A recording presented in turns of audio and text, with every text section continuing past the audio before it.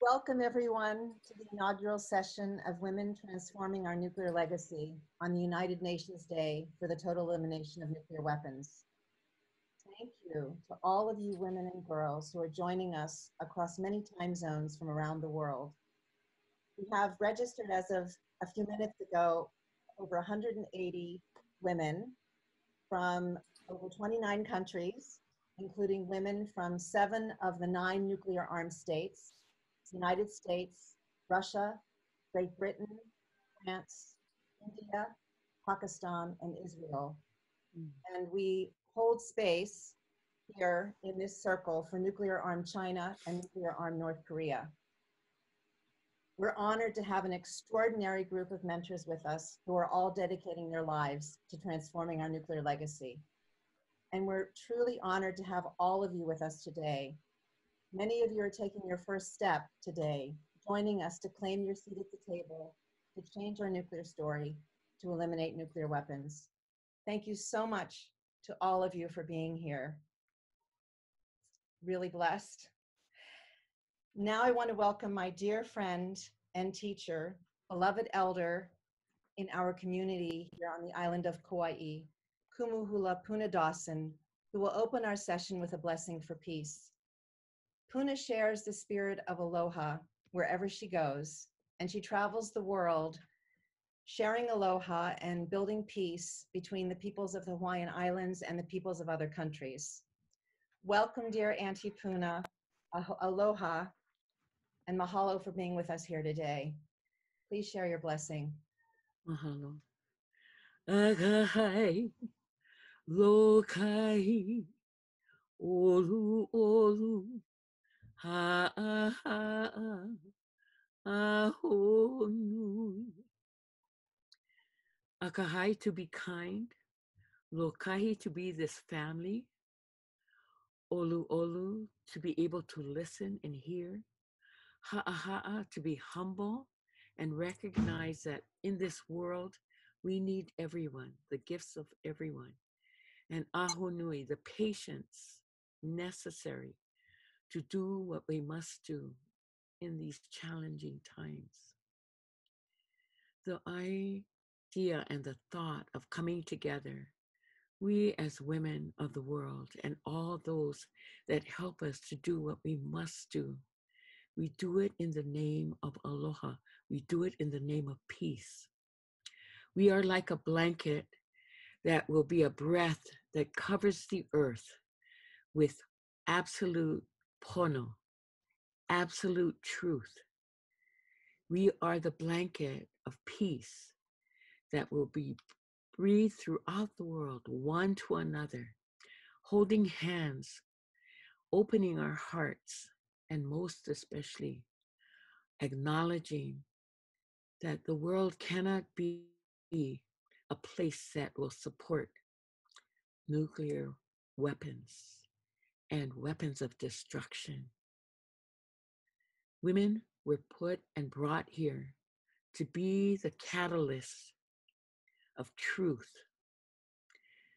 peace, appreciation, trust, and so we will do this with one breath. So please, everyone, put your hands in front of your mouth like I am. Breathe into it. That ha. Lift it up. And now all of our ancestry is talking to one another with one thought, one intention. We carry the history of our ancestors at this time. So let they be a part of this celebration and blanket of peace. In the name of Aloha. Aloha. Mahalo.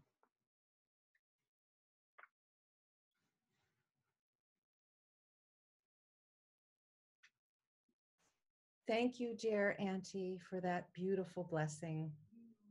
Thank you for honoring us today with that and sharing aloha and setting the intention for peace for this session. The theme today is awakening to action, claiming our seat at the table to eliminate nuclear weapons. Why am I here? Why have I invited all of you here to join me today? Because this is personal for me. After the Cold War ended, I thought I could stop worrying about nuclear war. That all changed for me in 2017 when I was working on a film, interviewing top experts, dozens of them, on US Russian relations and nuclear dangers. Pretty much everyone I spoke to awakened me to today's staggering nuclear danger. But the two people who had the greatest impact on me were former Soviet leader Mikhail Gorbachev and our US former Secretary of Defense, William Perry. Secretary Perry said to me, We are at a greater risk today of a nuclear catastrophe than at any time in history. And most people are blissfully unaware of this danger. And then he said, We are sleepwalking into a nuclear catastrophe, and we must wake up. I realized at that moment that I've been sleepwalking since the end of the Cold War. And I came home from those interviews at the height of the fire and fury in December of 2017 between Donald Trump and Kim Jong un. And nuclear tensions were particularly high here in Hawaii because we knew that we had been marked on North Korea's nu- nuclear map of death that we were a target. We were getting instructions from our government on how to prepare for a nuclear attack and how to survive a nuclear attack.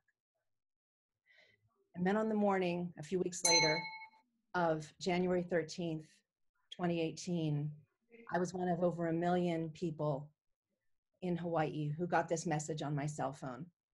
Ballistic missile threat inbound to Hawaii. Seek immediate shelter. This is not a drill. At first, it was, is this real? So we started trying to call 911, but everybody was trying to call 911, so we couldn't get through. And then my partner, Bruce, said, I don't know if this is real or not, but I'm going to go get the girls. Our younger daughters were seven miles away in the town of Kapa'a. And I said, Well, wait a second. We need a plan if it is real, where we're going to meet. I don't, I don't want to be separated. And he said, Call me in the car, we'll figure it out. So at that moment, I thought, Who do I know who's going to know? And I remembered my friend, a journalist here, Felicia, and I started to try to call her, text her, check her Facebook page because I knew that she would know. Everybody takes her call, and she's always the first to know everything. But I, I didn't hear from her right away. And finally, she called me back and she said, Cynthia, the county is telling us to take shelter. And at that moment, I thought, my God, this is real. And then it was, well, where do we go? We decided to shelter in a cave, a meditation cave on a neighbor's property. And then it was, well, what do I take with me? And I looked at my phone and I had 12% charge. And I thought, and so I thought, well, I'll get my phone charger. And then I thought, well, is there electricity in the cave? Well, there are lights there, so hopefully there's a, an outlet. And I started throwing things into a bag my computer, my computer charger, my passport, my purse, and then a shawl to wrap around myself and leggings if for, to prevent, protect from radiation. And then it was food for my family. We're supposed to have enough food for 14 days for each person and water. And then I thought, I've done nothing to prepare for this, nothing to prepare my family. I had two bottles of water, which I threw into the bag, and a bunch of bananas, and I jumped in the car. And it was only when I got into the car that I thought of my eldest daughter in LA. She had left a few days before, and I thought, I've got to let her know. I've got to call her to say goodbye. And so I started to try to reach her, and she wasn't picking up. And I parked the car near the hill leading up to the cave, and I still didn't hear from her. And then just at the foot of the steps to the cave, she picked up. And I said, Mackenzie, I don't know if you've heard or not, but we've all got a message on our cell phone that we're going to be hit by a nuclear missile here. We're going to shelter in the cave. And I'm going to call you again from the cave if, if I can. And I just want you to know that I love you. I love you. And she said, Mom, I love you too. And it was at that moment that time stopped. I froze. I didn't want to let her go. I thought, am I ever going to hear her voice again? Is this the last time I'm ever going to connect with her? And then it was, wait a second, what if this isn't just about her and me? What if this isn't about one nuclear missile from North Korea? But what if this is the beginning of one of those accidental wars that all the experts were telling me about Gorbachev, Secretary Perry in the interviews? What if this is the beginning of the end of everyone and everything we know and love and cherish on this earth? And at that moment, I heard Mackenzie say, Mom, go, go. And so I said, I love you. And I started running up the steps. And then I ran up the hill above the steps. And as I got to the door of the cave to open it, it opened. And it was my neighbor, Colleen. And she was smiling and she held up her phone and she said, It was a false alarm. It took 38 minutes for us to find out that it wasn't real. Um, and even with everything that I knew about nuclear weapons, Hiroshima, nuclear fallout, nuclear winter, everything I knew, nuclear war was never real or imaginable to me until I went through those 38 minutes. And now it's inside of me. It's it's visceral. It's in my gut. And it's always going to be with me. It's here with me until we eliminate nuclear weapons. And so that's why I'm here today. That's why I've convened all of you today. This is why I've started this project. And this is why I is personal for me.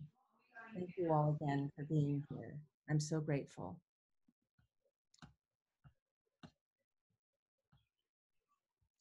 So today, in today's session, we're going to be planting many seeds. This is the first in a series of 10 sessions, and we'll be going much deeper on all of the seeds planted today in future sessions. And I want to express my gratitude to the Ploughshares Fund Women Women's Initiative for their generous support in making this project possible. Ploughshares has been leading the quest to eliminate nuclear weapons since they got started in the 1980s. And I want to honor Ploughshares founder, Sally Lilienthal, who dedicated her life and heart and soul to this. We wouldn't be here without Sally, and we wouldn't be here without Ploughshares. And we also wouldn't be here without four young women who inspired this project. project. Alida Gonzalez, Mahina Alexander, Aida Eskrima Kiva, and Kayko Tamaki. Just over a year ago, all within about a week, each of these women came to me independently of one another and asked for this program to be born. They didn't know each other, and none of them had ever done anything about nuclear weapons before. So I want to start with you, Alita. Dear Alita, you were the first to plant this seed. One day you came over and you said mm-hmm. to me, Will you mentor me? Mm-hmm. You've helped so much since then. And I want you to look at how your seed has grown. Thank wow. You, Thank you, dear. Cynthia, thank you so much. I I'm so honored and I feel like just thinking back to that, you know, that that day, but even before that when I met you, you've been such an inspiration to me and you know, we all need mentors in our life if we're going to continue forward and um, grow to be the best that we can be and and learn how to share our gifts but also how to support you know good things that are happening in this world and you've inspired me so much with this. Um, i didn't really know a lot about the threat of nuclear weapons or what's been going on and um, you really have opened my eyes and my heart and inspired me that we can do some good things and um, i'm just speechless too because the story you just shared i was there in kauai and i i feel so emotional because you know that um, what you're recounting really helps all of us touch in in in this moment to how it feels um, to really be aware of that threat and our families and our lives and what matters and um, it's just thank you it's, yeah so thank you so much. Thank you. We love you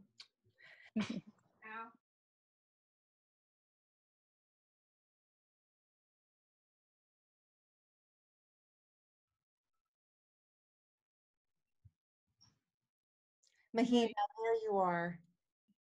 You were next. You came to me with tears in your eyes and you said, I want to help, but can I mm-hmm. do anything? And then you were crying and you said, I never thought I could have a voice on something like this. And I said, Mahina, if nuclear weapons can destroy all of us, we all have a role to play in making sure it never happens. And at that moment, you claimed your seat at the table and you never looked back. You've educated yourself, you've read everything I've sent you, and you've asked for more. And you just shared this program with your 200,000 Instagram followers. That's the way we build a movement. That's the way we get this done. And now you have a very personal reason for doing this. Please share your joy with us. Hmm. The little beam. Beautiful. Bless Yeah. you and bless your little one, Mahina. Thank you. Thank you for all you're doing. You're Thank amazing. you so much. We love you so much. Mm. So you already know. Love you. love you. Aida, you reached out to me on Facebook and you said you wanted to help. You work at the Global Fund for Women for Adolescent Girls' Rights. And you said, Cynthia, you can't limit the age. You have to bring girls into this. And you were so right. And so girls are now a part of this. And we are collaborating with you on a session for girl leaders from around the world in partnership with the amazing women at Girl Security. So thank you so much for what you've done. Oh. You also shared with me something uh-huh. personal that you reached out to me because you grew up in Kazakhstan, that your mother and grandmother had had breast cancer.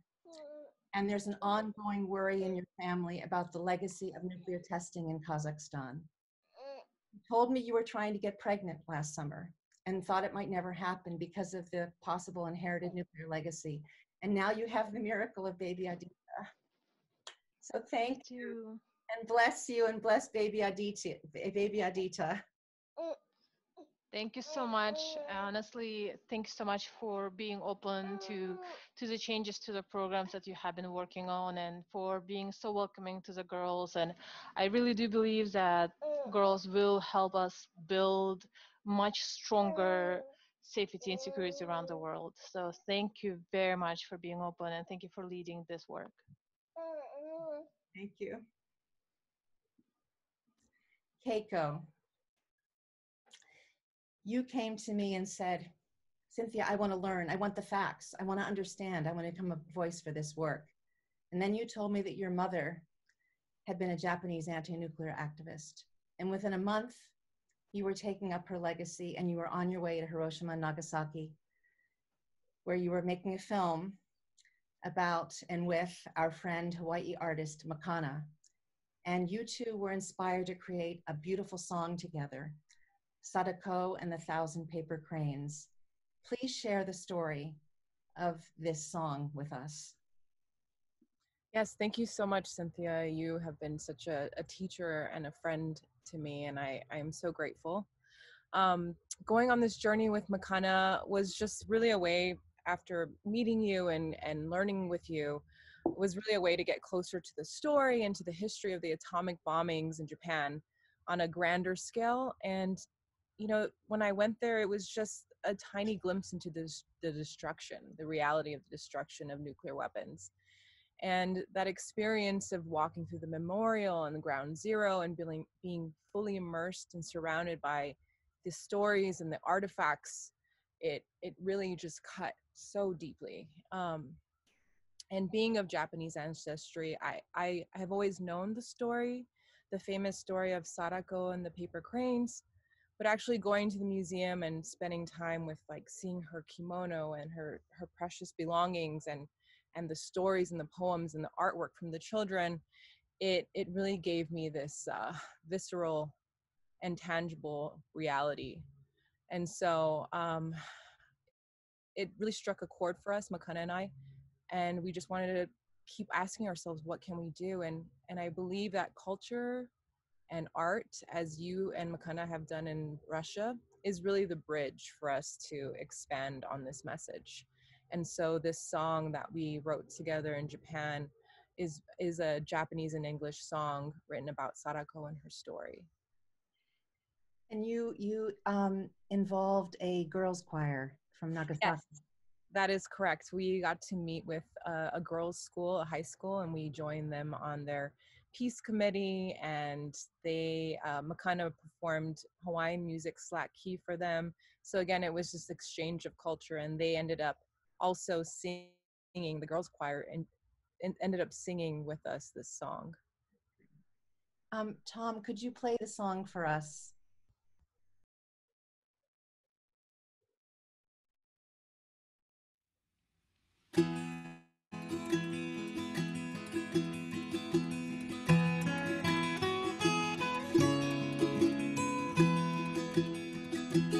Sadako was only two years old on the day the atom bomb exploded in a sea of fire all around. Mother found her baby on the ground.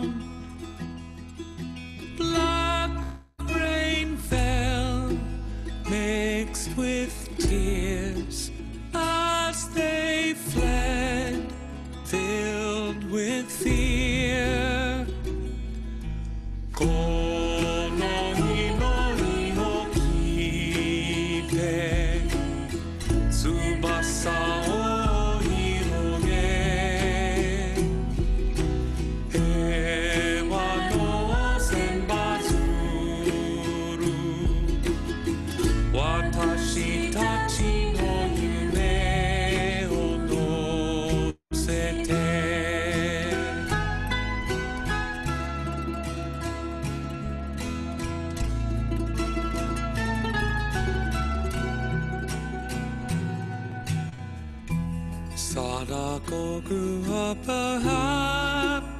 child for her friends, she always had a smile. But a silent sickness grew within her from the day the bomb exploded near her. Now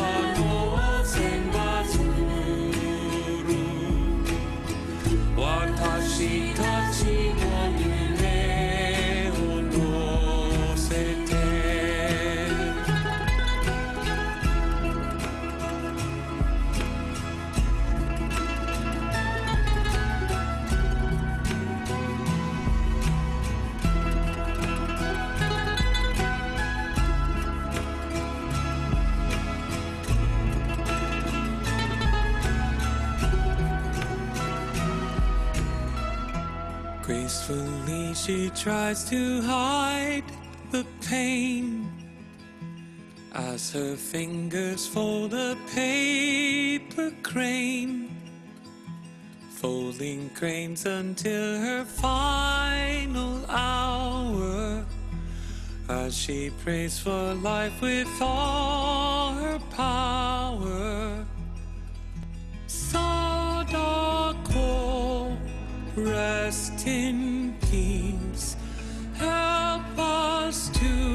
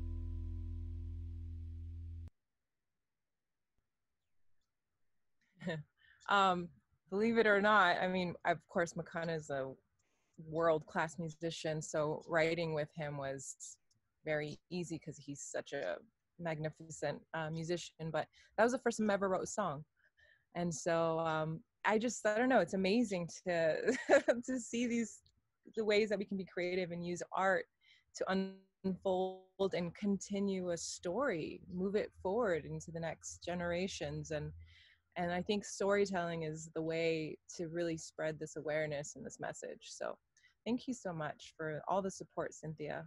You really like continue to to water these seeds in me and all of us.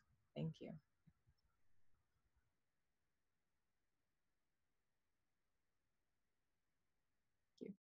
I'm so grateful that you've taken up your mother's legacy. And I know she's really proud of you. And I just want to say that we're looking forward to welcoming you back in our session on storytelling for change. It's a future session with your film. And I also just want to say, may Sadako's prayer for peace be realized. Thank you so much. Okay. So, why women and why now? Since the dawn of the nuclear age, women have been at worst completely, or at best largely, shut out of national security planning, decision making, and policy making. Today, women are still grossly underrepresented in nuclear policy, negotiation, and peace processes. And yet, when women are involved, peace becomes more possible and peace agreements more enduring. That's what the research shows. We continue to create ever more deadly weapon systems that can, annihilate, that can annihilate us many times over. And we already have enough nuclear weapons to destroy ourselves many, many times over. It's clear that the old ways of doing things are not working. Today, it's an existential imperative that women come forward to lead, to change our nuclear policy and eliminate nuclear weapons.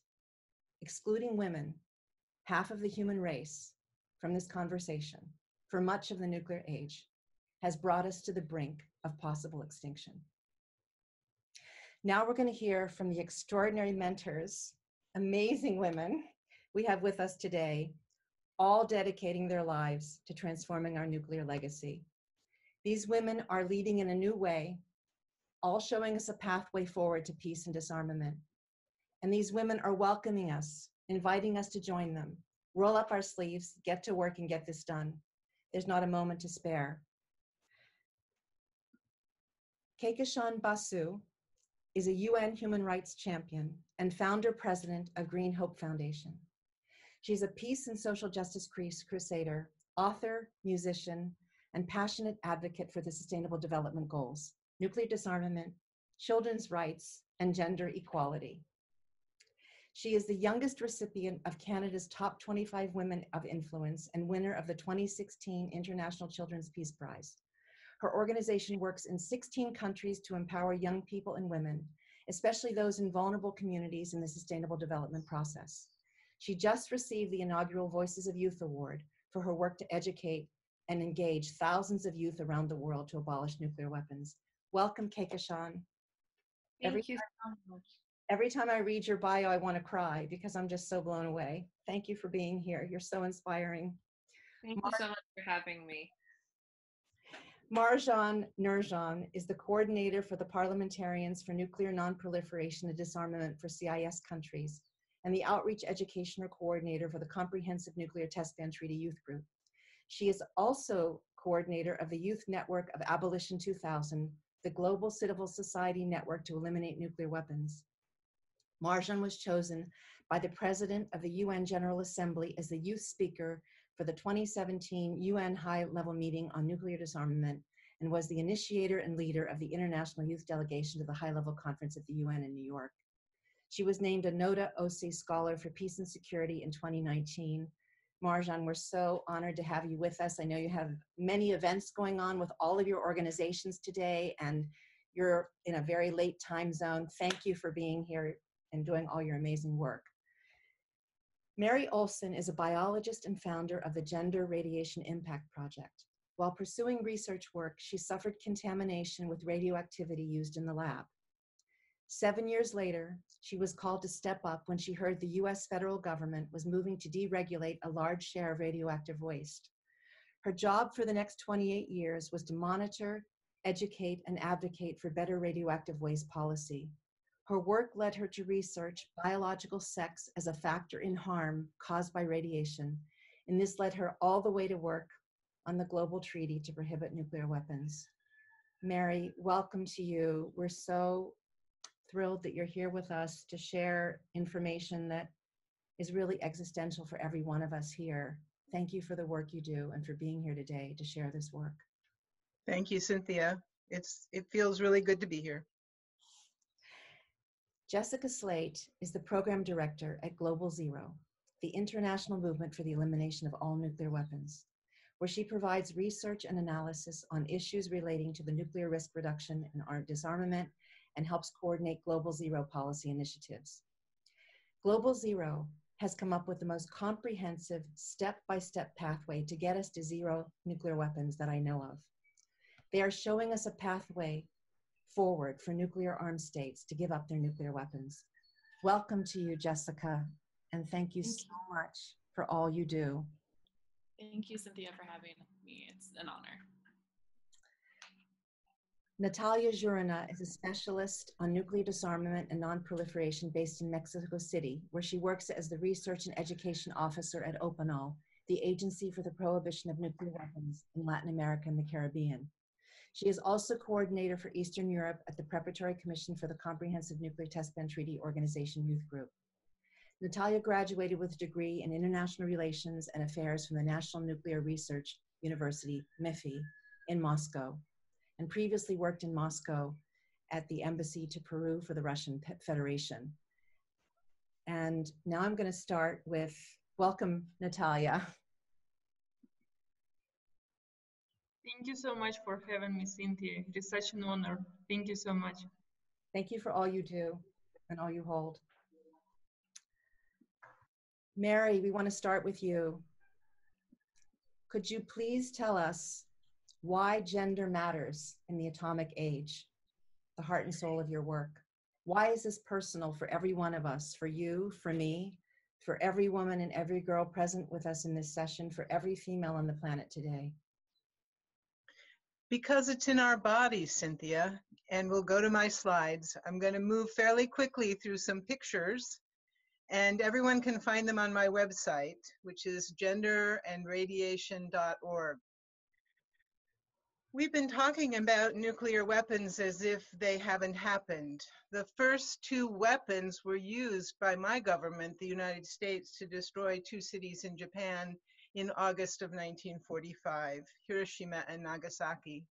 But over 2,000 detonations have occurred on our planet. This is a map of the ground zeros. And these were called tests. The other, you know, besides Hiroshima and Nagasaki, called tests. But each of these places was somebody's home. Next slide.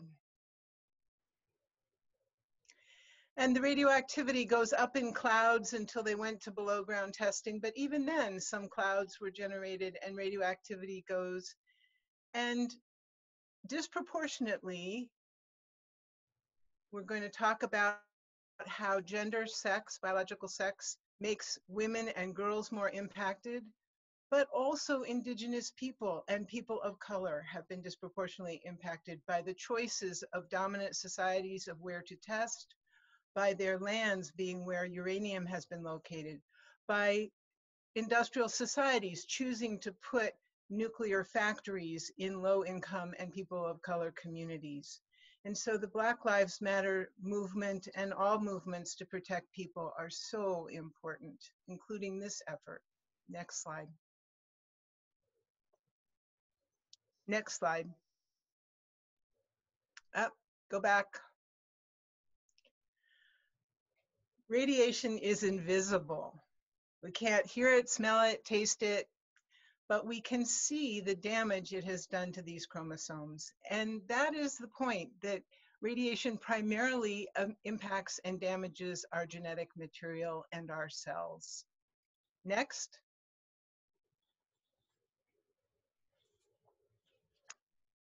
When the damage is to reproductive uh, cells, eggs and sperm, deformations are one impact. More common, though, are the loss of the pregnancy or the reproductive event for plants, animals, all forms of life are impacted by radiation. And in human beings, this contributes to infertility and to not reproducing because of uncertainty. And I know that there are people on this call who've experienced this, and my heart goes out. Next slide. So the one form of impact that the United States government pays attention to is not the non-cancer effects, and there are many besides reproductive impacts. Our government here in the United States and those that follow it around the world only look at cancer as an impact and measure safety around cancer risk. So the rest of what I'm going to talk about is really focusing on cancer. So in this picture, we see the radiation impact coming in on the left, hitting a cell, breaking the DNA, resulting in an abnormal cell that sits and waits, and then at some point in the future may or may not become a tumor. Before I say anything else, I have to tell you that our bodies are amazing. We heal these damages all the time, day in, day out. Not every radiation exposure results in cancer. But as a result, we don't know which one does and which one doesn't, and that is why cancer is studied in large groups of people looking at statistically significant uh, groups that do or don't get sick. Next slide. Next, yeah. Okay, so again, our the United States government and those that follow it assume that every single cancer in any single person is happening in an adult male. The adult male is an envelope defined as reference man. I'm not going to read all those details, but there's a specific definition. He's 20 to 30 years old. He's a specific height, a specific weight. He is European and Caucasian in his lifestyle. And that means that this, this man does not correspond to many, many men on the planet, and he certainly doesn't correspond to non men. Next slide. So, at a significant point in my life, a woman asked me, Does radiation harm women more than men? And I, it took me a while to answer this question, but when I did engage, it was with the data in this blue report called the Biological Effects of Ionizing Radiation. I did not collect any data. It was all published by the National Academy of Science in the United States, and the data all comes from um, the survivors of Hiroshima and Nagasaki.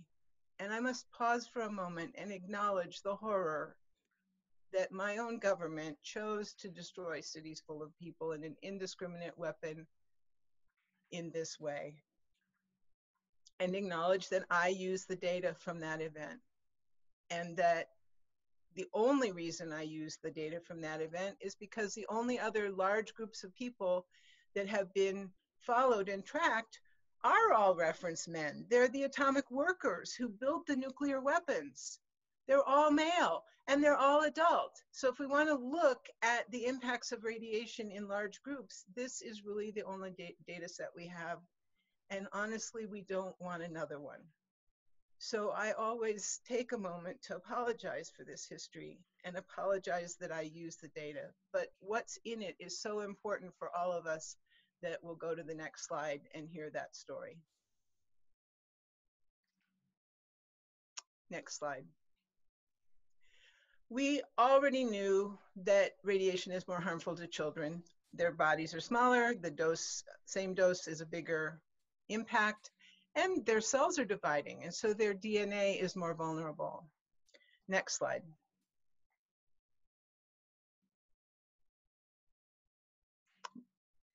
But what we didn't know and is in that the numbers in that blue report and in the lives and deaths of the survivors from Hiroshima and Nagasaki is this finding that of the people who were children in 1945 The study is composed of age groups that are birth to five years old, five to 10 years old. And in 2006, when the report was published, we had 60 years of tracking cancers and cancer deaths. And so looking at the youngest people, the children of Hiroshima and Nagasaki who were exposed and survived, for every boy who survived and later got cancer, two girls later got cancer at some point in their life. We're not talking childhood cancer here, we're talking lifetime cancers. A doubling in biological research is just a huge flashing light and siren going off. The first time we see this is in the 2006 report. Next slide. Next, yeah, thanks. So looking across the age groups, there was also a measurable difference between men who were exposed and women who were exposed in 1945. For every two men who died of cancer, three women died. And this finding holds across the adult group and changed my activity in the field. I don't go to contaminated places anymore. Next slide. Okay, here's the same information in graphic form. We're just gonna stay just a moment here to say that across the bottom is all the different age groups that people were when they were exposed to these big flashes of external gamma radiation in 1945. And the vertical axis is increased um, cancers, and the whole thing is reshuffled like cards in a deck, if epidemiology does that, to a single dose rate. That's not reality, but you can do that with a data set. And so here we see the difference. Blue line is males, pink line is females. Across the entire span, pink line never crosses blue line. Females are more impacted in every age group, but the difference is biggest when they were exposed as young children. And there you see that doubling over on the left-hand side. Next slide. Here I have given you what the decision makers of the world see. They only see reference man. They only see data from reference man, that 25 to 30 year old male where that green circle is. Everything else is invisible. No information about males of other ages, no information about females. Next slide.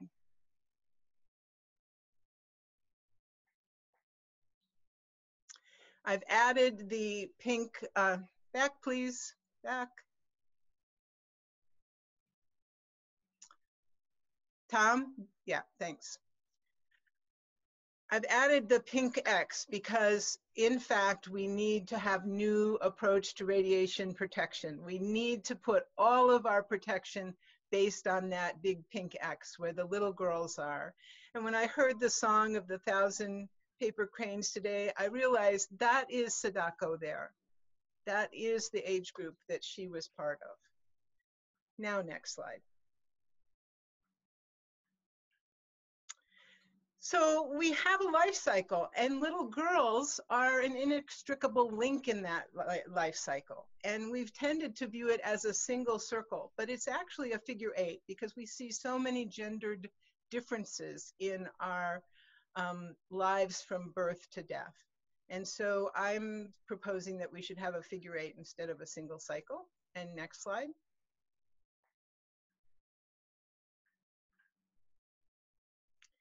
So reference man needs to be retired. Give him a gold watch. Thank you very much.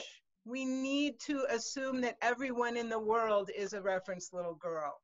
We need to set our standards and our protection for x-rays, for um, radon levels, for licenses of nuclear facilities, for discharges, all of it, assuming that the person getting it is a reference little girl. And that is only step one because it doesn't encompass pre-birth phases of our life cycle. Next slide. So why? I've told you this is in the data, but why? The data set we have doesn't answer this question. And it's so important, along with all the little sub questions of why. And my teacher, Dr. Rosalie Bertell, suggested, put out a hypothesis that it has to do with the percentage of reproductive tissue in my body and your body as females compared to males. But that's an idea. We need to test it. No one has yet asked or answered these questions in a research setting. Next slide. And I want to finish with this picture because to me, this is a picture of health. These women stopped a radioactive waste dump from coming to their ancestral lands.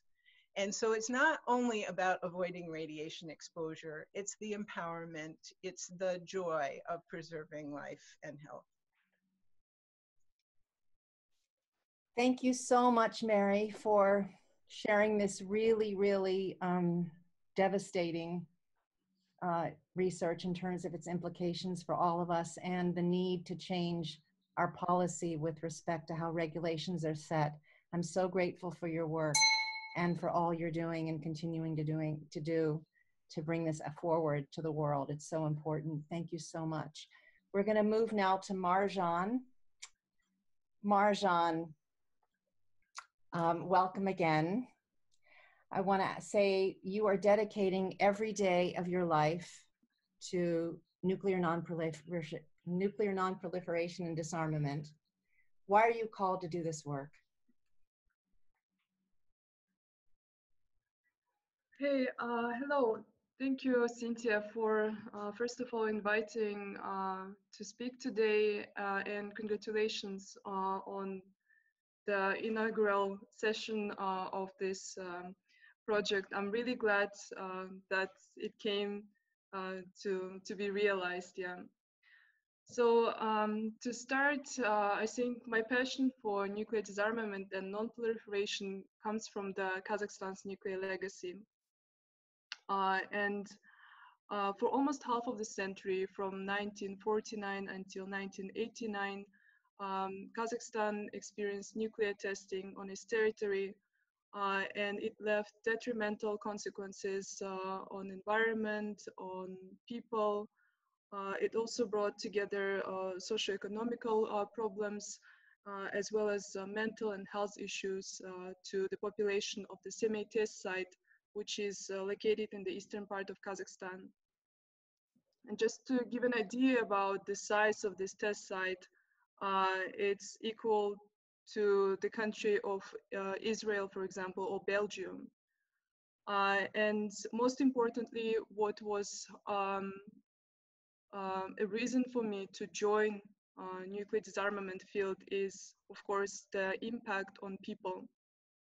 Uh, on um, almost 1.5 million people uh, suffered and still suffer uh, from the high level of radiation resulting in the um, cancer, uh, in the premature deaths, uh, on, um, as Mary also mentioned uh, about the disproportionate harm on women and children, as well as, as the reproductive, reproductive functions of women uh, and um, this is all about my um, country fellows um, that are being uh, impacted by the story of nuclear testing.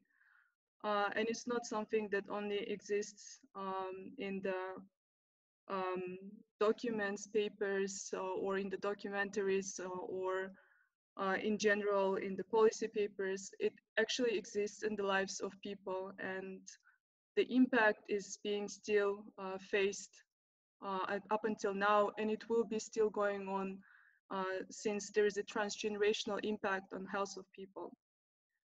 Um, and um, primary inspiration for me as well was also the um, uh, anti-nuclear movement Nevada Semipalatinsk, Nevada uh, which was the international uh, anti-nuclear movement um, that existed only for a short time of uh, uh, of a period for three years from 1989 uh, till 1991. But nevertheless, it was very successful uh, in its aim to shut down the Semey test site in Kazakhstan. And how this happened. So the people from the Nevada test site, together with the people of Kazakhstan in Semey test site, they came together regardless of the um, divided um, sides of the politics in the Cold War times. They came together united in solidarity and joint efforts uh, to stand together to fight uh, the nuclear testing. Uh, and uh, there's a documentary called Where the Wind Blew, which I would recommend to, to everybody to watch, and I can also write in the chat, uh, which tells the stories of uh, people uh, from site uh, and from Kazakhstan, from Semey. and it shares the personal stories of people who are being affected by the nuclear testing legacy. And it's um, it's really touching. It's very powerful, um, and it's quite short for the documentary. So I would definitely say that it's not boring to watch it. Uh, it's not available uh, on a public online, but um, if you are interested, I can help out with the access to this film. And uh, I was able also to help out with the film screenings so that more and more people would be um, uh, aware of this topic and to promote uh, the, um, the story of nuclear testing um, locally as well as globally.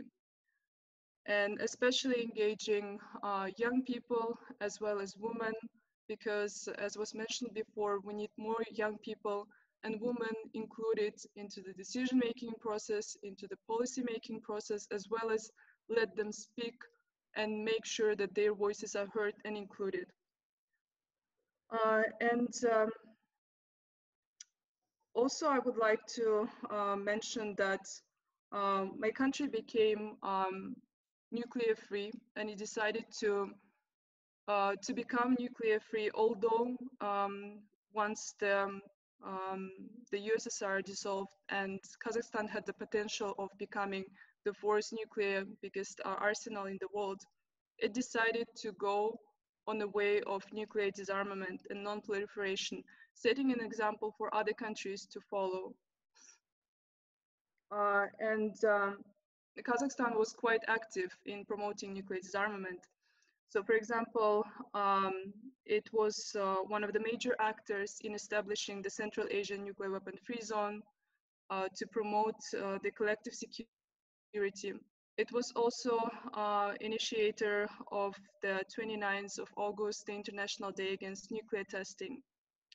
Uh, and Kazakhstan is commemorating this day on an annual basis and every day there are events uh, that are promoting this day and making sure that more public is aware of the topic. So with this, uh, thank you, Cynthia.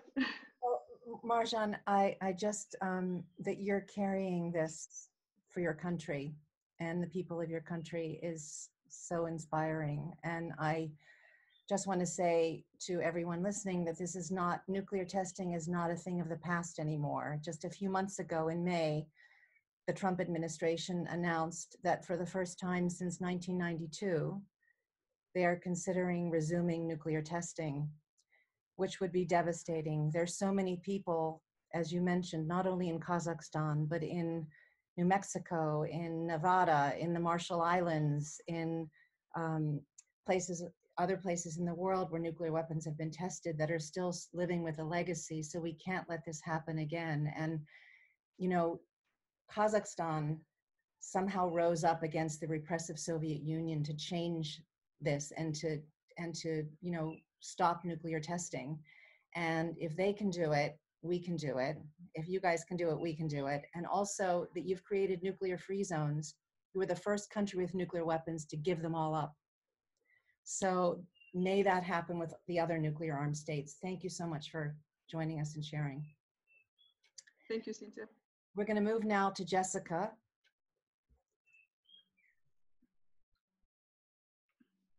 Jessica, you are a nuclear expert. You live and breathe nuclear policy. You're dedicating your life to this. Which nuclear threat are you most personally concerned about? What keeps you awake at night, and what is Global Zero doing about it? Um, well, thank you, Cynthia. Again, the world can be kind of frustrating and this work can be overwhelming. So it's really great to have a space to come together with everyone and hear their inspiring stories and feel support for this work. So thank you very much. Um, what keeps me awake at night um, is the concern um, and the threat of accidental nuclear war. You you illustrated this so viscerally when you were speaking about the Hawaiian false alarm, and others on the call I know were also um, uh, also went through that. But there's this unacceptably high risk that nuclear weapons will be used by accident, by miscalculation, unintended escalation, or because of a false warning of an incoming attack. And we're in a period in the nuclear era where the belief that a country can fight and win a nuclear war has really come back into fashion. And, and nuclear planners think that they can control escalation and, and be able to use nuclear weapons to de escalate a situation. Um, and current nuclear policies and postures around the world really feed into this belief. They encourage first use of nuclear weapons, they put pressure on leaders to use them in a conflict and underestimate the real risks of nuclear use that accompany these policies.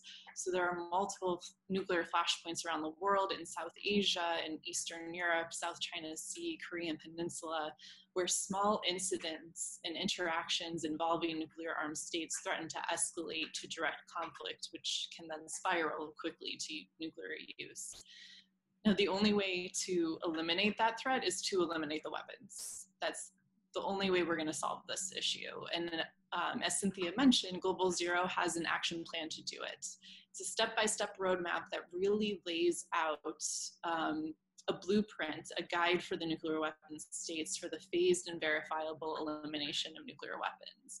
And we work to put this plan into action through an international network of political and military leaders, national security experts, and through grassroots pressure, because it does take us all to get to zero. Um, we're working to raise awareness on the urgent threat and put forward policies to address those threats and engage directly with the nuclear armed governments to advocate for those policies and demand progress. Um, we recognize that we can actually get there in, in, in our lifetime. We can get to zero in 10 years. But we also recognize that there is still an urgent need for nuclear armed states to take steps in now to reduce the risk of nuclear use. And one step is for the US and Russia to eliminate what's called launch on warning. So this launch on warning strategy is where each side says, we're going to launch our nuclear missiles on warning that you have launched your missiles at us. Um, and in order to do that, the US and Russia keep thousands of weapons ready to launch within minutes of receiving an order. Um, there's already been a number of false alarms um, and nuclear close calls, many having to do with computer error, some with human error, and luck is playing far too much of a role in preventing nuclear use. And we've been saved from potential all out nuclear war multiple times by one individual. Um, and we can't count on that forever. We can't count on luck. We can't count on one person saving us. We need to realize that global security cannot be built on weapons of mass destruction. And by eliminating launch on warning and taking all nuclear weapons off high alert, we take a big step toward mitigating the risks of nuclear use. Jessica, I I um it I, I love the way Global Zero combines the work to eliminate nuclear weapons with actually steps that are going to keep us here long enough to do it while we work on eliminating the nuclear weapons because at any moment we could have not have that one individual that saves the world. Um, and so i just want to go now to uh, to your the work that you're doing on no first use why that's important. And if you could just talk a little bit about, give us a little bit more detail about the staged verifiable reduction plan that is really, as I said, the most comprehensive pathway well thought through to get us there to, to zero nuclear weapons. Yeah, of course. So the path really starts with um, kind of a parallel track here, where the US and Russia, because they have you know 90% of the world's nuclear arsenal still they really need to work together to come down and and immediately extend this New START treaty which is the last guardrail on both of their nuclear arsenals and then immediately negotiate a follow-on treaty to get their numbers down even more we say they can do it to 1100 um, and then do another round to 300, and then it will put everyone at kind of a, a, a same level. Everyone will have some sort of nuclear parity, and then the world can then come down to zero. Um, but parallel to that, um, we've talked about there is a um, there is a role for all nuclear weapons states to play right now. It's not just the U.S. and Russia that have to tackle this. And in parallel to U.S. and Russia efforts, we will want the all the other nuclear weapon states, actually all nuclear weapon states, including the U.S. and Russia, to come together to talk about ways to reduce nuclear risk. And the campaign that we are spearheading right now is one for no first use. So, no first use is a commitment to never use or threaten to use nuclear weapons first. It removes the pressure and incentive for nuclear armed leaders to go nuclear first in a crisis and would mark a fundamental shift in how these nuclear weapons are viewed in national security, reducing the role of nuclear weapons. And of course, decreasing the risk that they will actually be used. And so, when everyone agrees nuclear weapons are not to be used first, we we take away their reason or whatever perceived reason there is for their existence and we're set up to to phase the weapons out and illuminate and eliminate that nuclear threat for good and i should say so Global Zero is working with um, some of our high level um, validators in nuclear armed states on proposals for for each nuclear armed country on how they can go about establishing or strengthening no first use commitments because China and India already have no first use commitments. So, how can they strengthen them? Um, are there bilateral treaties, whether through trilateral treaties, multilateral treaties, or even just you know unilateral commitments to no first use? How is the best way to go and do that, and then put pressure on those states? And then in the U.S. specifically, we work really closely with a group called Beyond the Bomb. It's a grassroots organization that's really amazing. Um, they're building a mass movement to prevent nuclear war and end nuclear violence. And they're working to build support in Congress for no first use legislation. Um, so yeah, so it's we're we're working on the inside game and the outside game, and that's really what's going to build this pressure. Oh, you're on mute. Thank you so much, Jessica, for bringing Global Zero's work to us today, which you know really combines these two essential steps to get us to zero nuclear weapons and keep us around where we're doing it. So grateful for all your work. Thank you so much. We're going to move now to Natalia Zhurina. Natalia, welcome again. You are also dedicating every day of your life to nuclear nonproliferation and disarmament. Why are you called to do this work? Um, I think that the fact that I was born in a nuclear weapon state make me made me concerned about the issue, and the more I was studying about it, uh, about the nuclear weapons, the more terrified and concerned I became. I think that one of the biggest problems that we have now, and the reason why the nuclear disarmament is in a deadlock now, is the people's lack of understanding of the enormous threat uh, that nuclear weapons pose. Um, I'm sure that if if um, there were more pe more people aware of the danger, the situation would change. Um, anyway, I, I, swear by the idea that uh, if you don't like something, change it. And uh, if you don't do anything about it, then don't say you you're not okay with that. So all of us can do something about uh, disarmament. And um, the most important is to be passionate about what you're doing, and then everything is achievable. So I started to get um, educated about the issue and joined um, several um, disarmament and non-proliferation movements, including youth groups. Uh, so that's how I started my uh, career in this field. Um, for those who are just starting, I would like to say that no matter how small you consider what you are doing, uh, anyway, it is a small step towards achieving the ultimate goal, and in the end, it all counts. So several years ago, um, I met this girl from the United States. She was a student, but uh, she also worked as barista, and uh, she served coffee with nuclear latte art.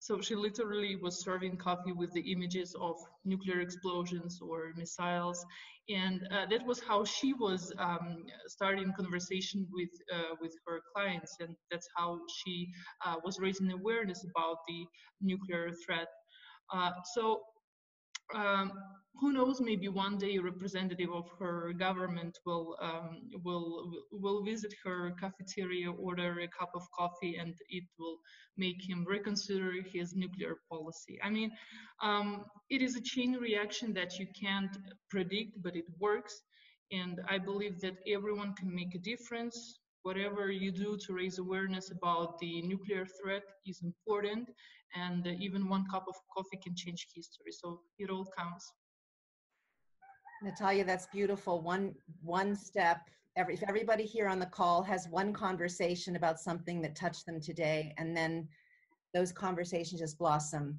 that's really every every step. No act is insignificant. I love this barista story. So, um, just briefly, you're a citizen of Russia. What concerns you most today about the nuclear risks between the United States and Russia? who together possess over 90% of the world's nuclear weapons, as Jessica mentioned. And what do you think is the one thing, just briefly, that we can do that we must take to reduce the risk? Yes. So today, according to the Bulletin of Atomic Scientists, we are closer to a nuclear catastrophe than we were during the Cold War. And as you said, both countries hold over 90% of the world's nuclear weapons and keep uh, almost uh, two 2,000 nuclear weapons on high alert.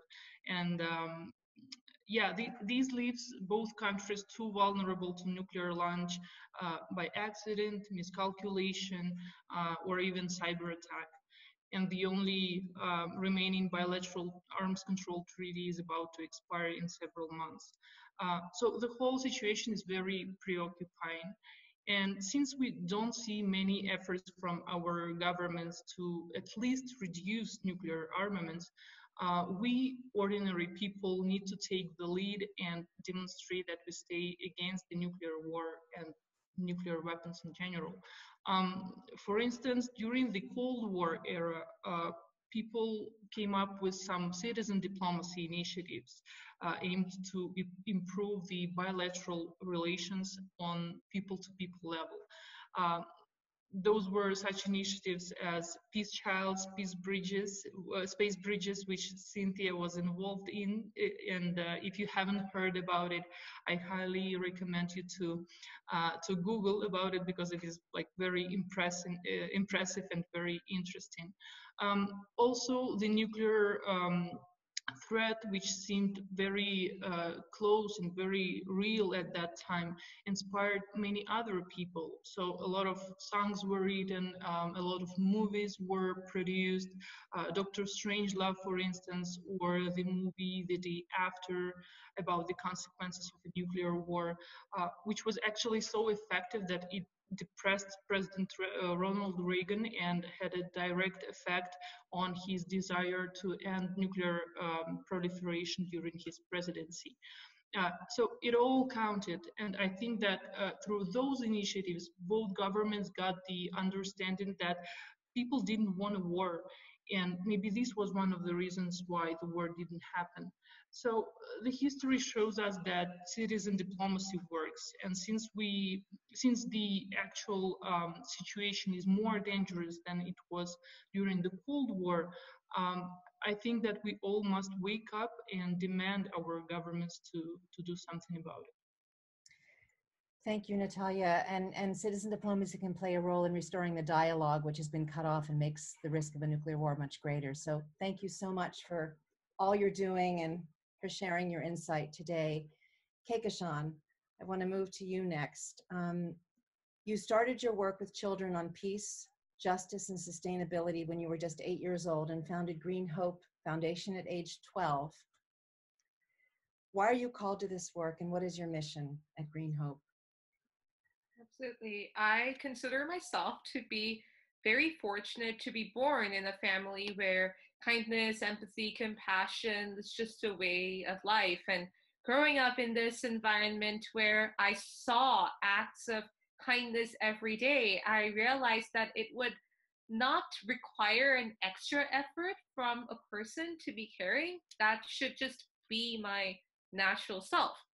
Uh, so when I was five, my parents took me to Mother Teresa's Missionaries of Charity head offices in Kolkata, in India. And that was and still is the most impactful experience in my life. I prayed at her memorial. I spent time in the room where uh, she lived and interacted with the children who the missionaries cared for. And I had taken my toys and books to give them, and I recall the absolutely wonderful time that I had playing with them and just enjoying that camaraderie and joy. But it was also very difficult for me to understand why none of these children had parents like me. And I really wanted to do everything I could to help them. When I was nine, I visited Jordan with suitcases full of books and toys for the Iraqi war refugee children.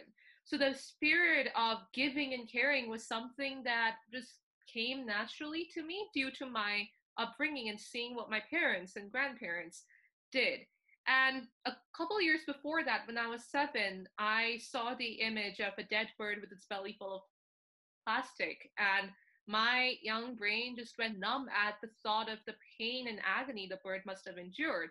And at that moment, I realized that human actions caused the pain and suffering all around that affected human beings, birds, plants, animals, as well as the natural environment.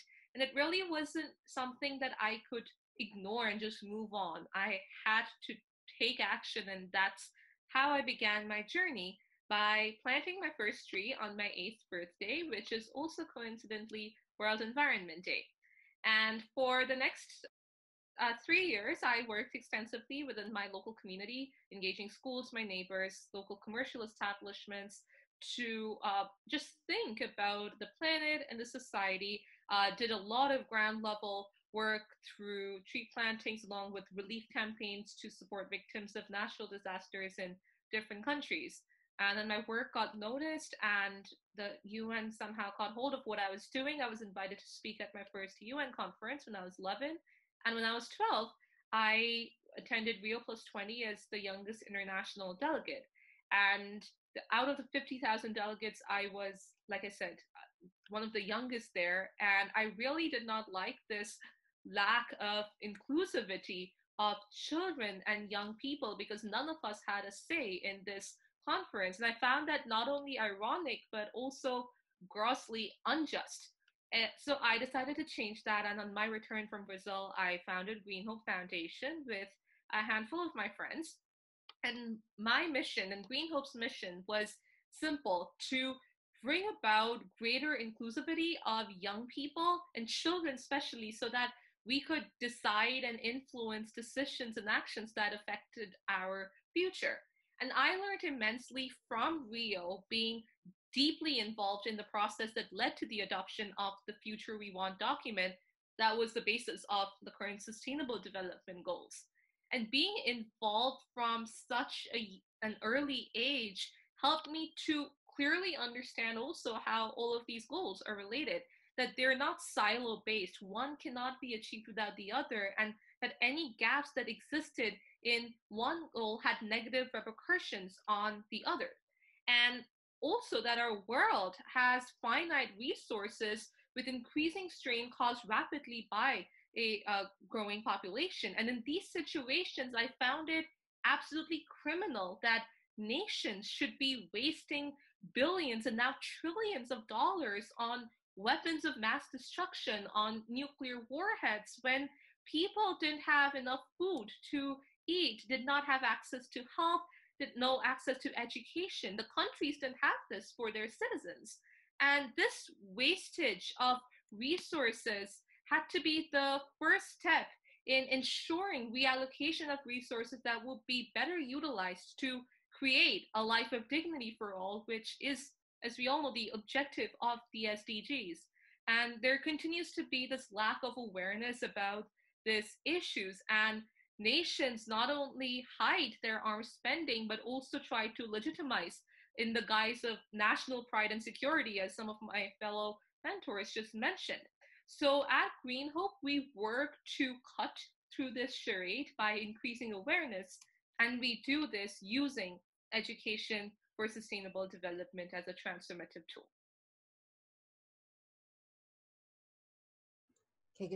I, I, I love the way you connect all of the issues. It's so organic and it makes so much sense. And you start with children. You have a very creative approach mm-hmm. to engaging children, starting introducing them to certain issues when they're younger and then over time. Can you just talk just briefly about that approach? Share that approach with us.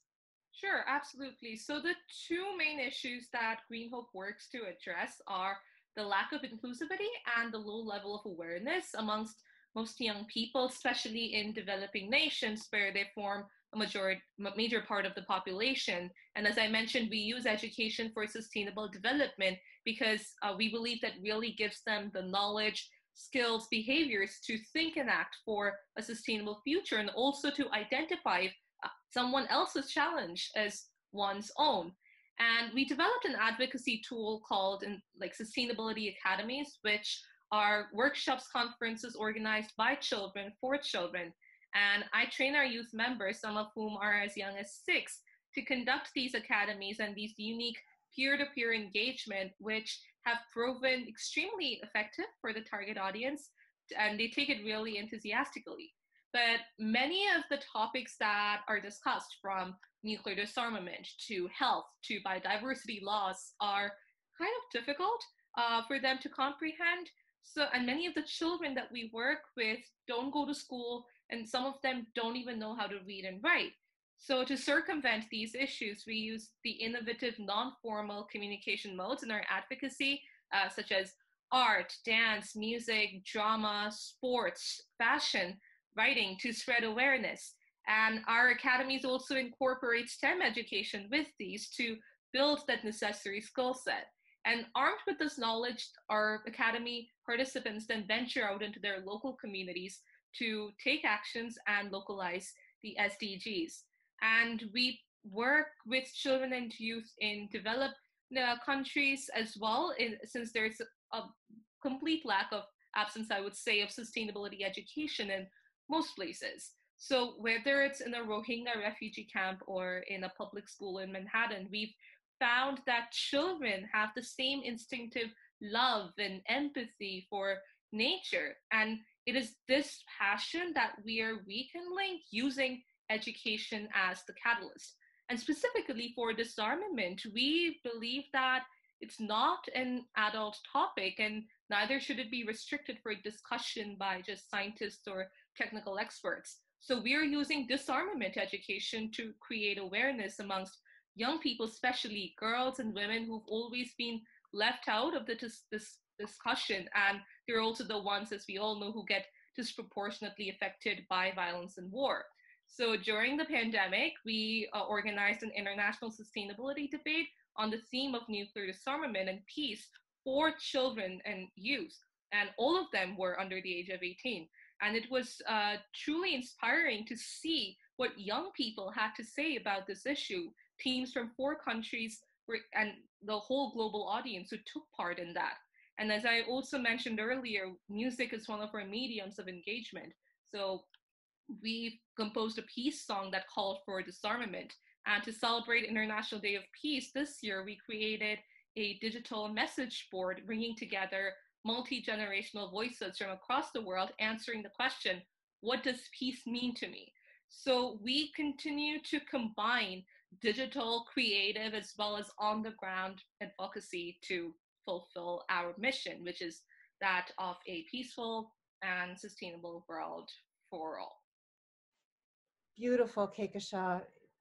You bring so much together and you started so young and you're so inspiring. And thank you for all you're doing for children and all of us all over the world. It's such a gift. Um, I just want to say that all of these mentors are now on our website and they've offered to be available for post mentorship collaboration with their organizations. Um, and so we're putting the link to the website with all of their contact information and the organizations that they're involved in, and they're welcoming you to join them in this work. So we are inviting all of you. We need you. We need these women to keep doing their incredible work, and we need you to join us and join them in um, in working for the elimination of nuclear weapons. So we're putting that in the chat now, and you'll all be getting it afterwards as well in an email. So just very briefly, I'd like you each to address our final question, and we're going to do this in the round. Um, and and I we have we have very little time, so if you each could just say something from your heart, uh, which is on this day, the UN Day for the total elimination of nuclear weapons. What is your hope, your prayer, your message for the women who are gathered here with us today? And I'll start with you, Mary. Love is the most powerful force in our universe. That that is clear to me. However, hope is a resource and we all need to find it because without hope going along with the love, we're kind of stuck. So go so- find some hope. Thank you, Mary. That's beautiful. Marzhan, are you still with us? I think she had to go maybe to another, another event. So then we'll go next to Jessica. I think the message is that we need to believe that we can eliminate nuclear weapons in our lifetime. We can do this. It is not impossible. And the only way we're going to be successful is to not just have everyone at the table, no matter your age, gender, um, race, socioeconomic um, background, but not just to be at the table, but to be actively involved and actively heard and actually breaking down that table and rebuilding a bigger table and one that is founded on a reimagining what security actually is, what real security is. Beautiful. Thank you, Jessica. Natalia. Um, you know, when I talk uh, about nuclear threat to people who don't work in this field, they usually seem to be like interested, but um, they don't consider it as something that um, it, it is an issue uh, which they can do something about. Uh, they think that uh, it is like only high-level diplomats and politicians can um, can do something about nuclear disarmament. So I wish there were more people um, uh, that felt empowered and uh, more people believed that they can change the situation because the nuclear disarmament is everyone's issue. That's beautiful. Thank you so much. Kehkashan. I would say that my prayer is a call to action. I think for all of us, uh, and not a call to action, I'd say that urges all of us to uh, no longer bear this injustice of wasting resources by build, building weapons of mass destruction when innocent people are dying of hunger and disease. And I firmly believe that our silence and our inaction is equal to being complicit. So each and every one of us must hold ourselves accountable and take actions, and the ways to do so are many. And only if we join forces will we be able to create a world where fear is replaced by joy, hatred by love, and distrust by empathy. And when that happens, we will truly have a world free of this menace. Beautiful vision. Thank you to all of you mentors. So grateful. We're now going to move to our honored guest, and we're so honored, Ambassador Whyte, to have you with us today. We're so thrilled that you were able to join us and take time to be here with us. And I'm just going to introduce you now. Welcome. And I, Ambassador Elayne Whyte Gomez is a member of the Special Team on Strategic Foresight for Costa Rican Foreign Policy at the Ministry of Foreign Affairs of Costa Rica. She previously served as the former ambassador from Costa Rica to the United Nations in Geneva. In 2017, Ambassador Whyte presided over the proceedings of the United Nations Conference that negotiated and adopted the landmark Treaty on the Prohibition of Nuclear Weapons. Facing extraordinary time pressure and at times contentious debate, Ambassador Whyte facilitated the adoption of this landmark agreement by a vote of 122 nations in favor, one against, and one abstention. Among her many accomplishments, Ambassador Whyte is also the first woman and the youngest person ever to serve as Vice Minister of Foreign Affairs in Costa Rica. Welcome, Ambassador Whyte. So happy to have you with us. Thank you so much for being here today. Thank you very much, Cynthia. I, I have enjoyed every single minute um, of everything I have heard this morning, and I want to thank you for for inviting me. And something, although of course uh, this is a busy day, something um, eh, gave me this message that I needed to make time to, to be here, and I, I don't regret it. I I have enjoyed every single minute. So thank you a lot. I know how busy you are, so I know what a big deal this is. Thank you. Um, so I want to start with the questions for you. How did the historic treaty to prohibit nuclear weapons come to be? How important was women's leadership, and what was it like for you as a woman to lead the historic negotiations at the UN?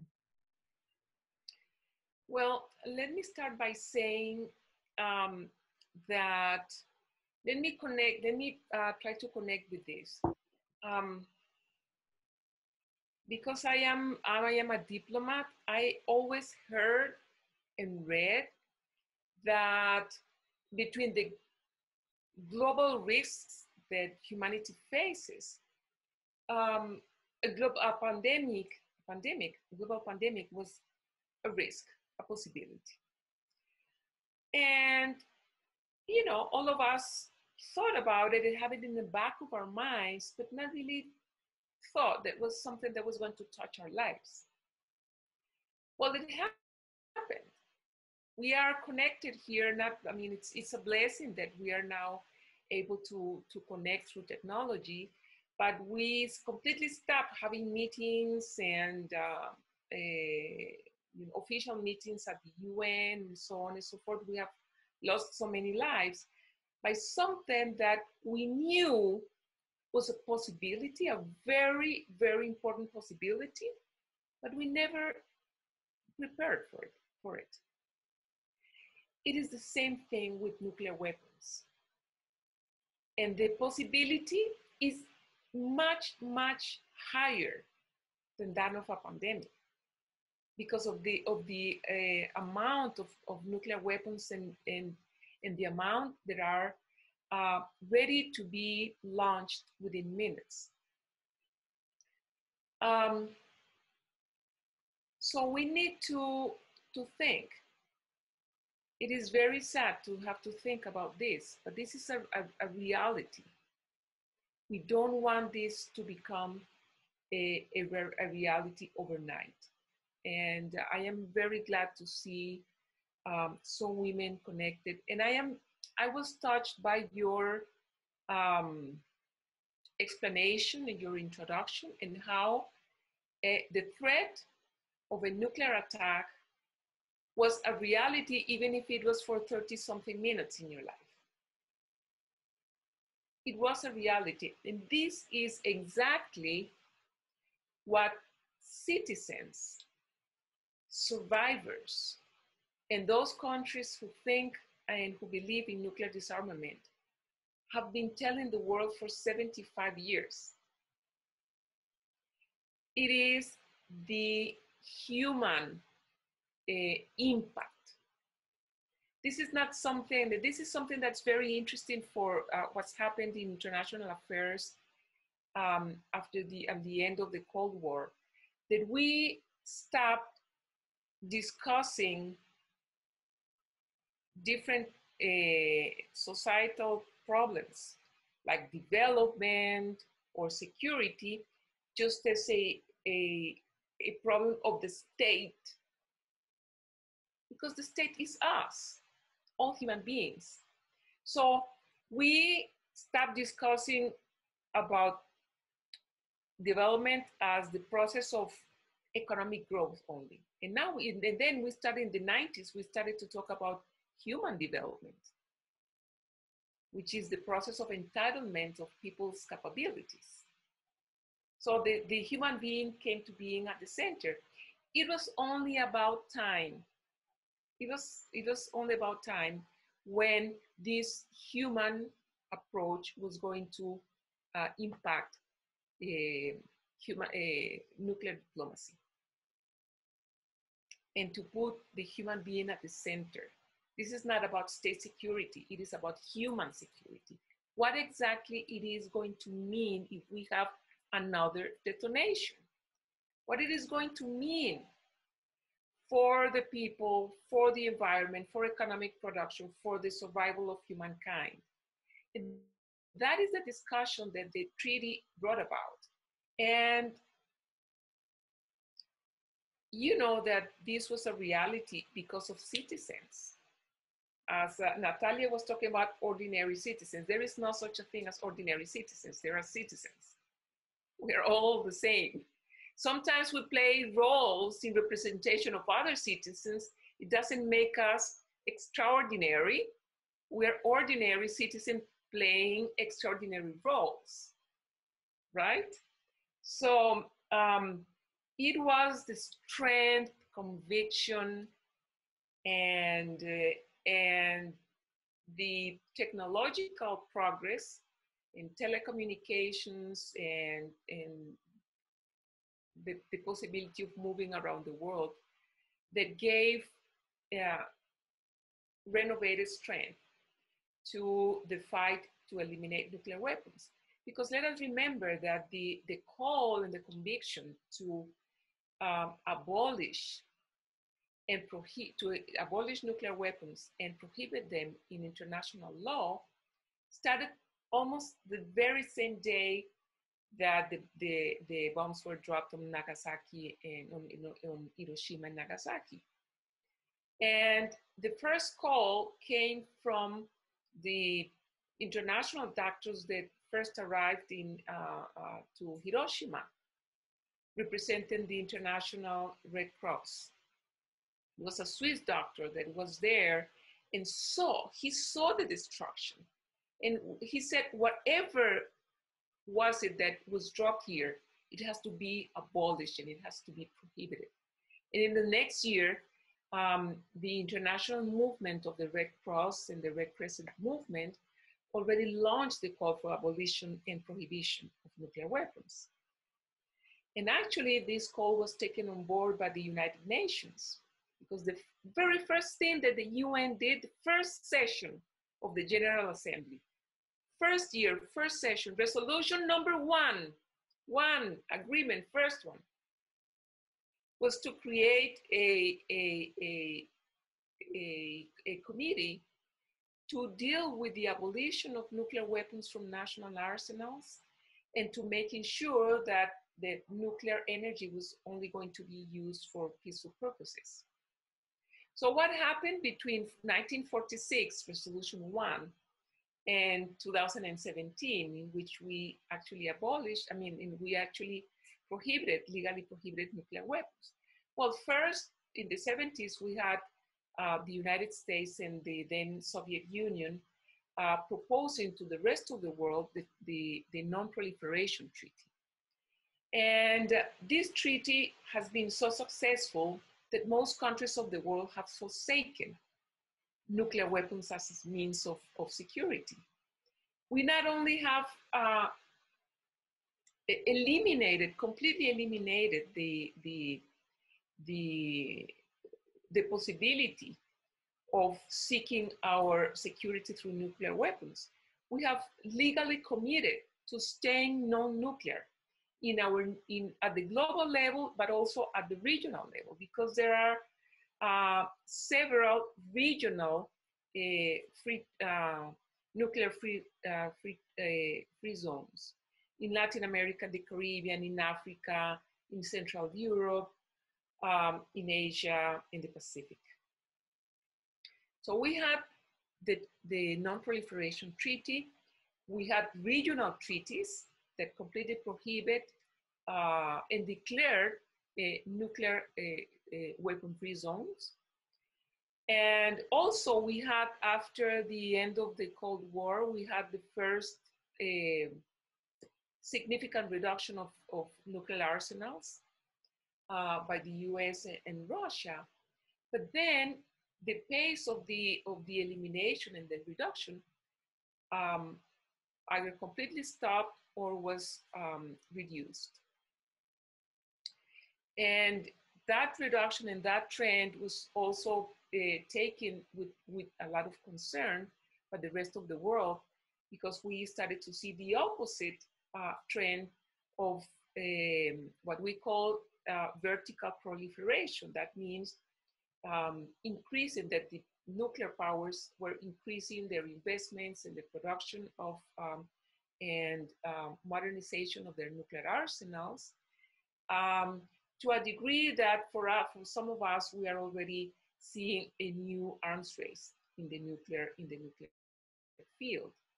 So this is what triggered empowered citizens all around the world to come together and form with governments and scientists um, this new movement of the of the uh, the so-called the humanitarian uh, impact of nuclear weapons movement, which was the one that very successfully brought to center stage again at the UN the issue of the legal prohibition of nuclear weapons. And this is all, and this is uh, a, a, a, sphere in which we have to, to think about Hibakusha, there are women.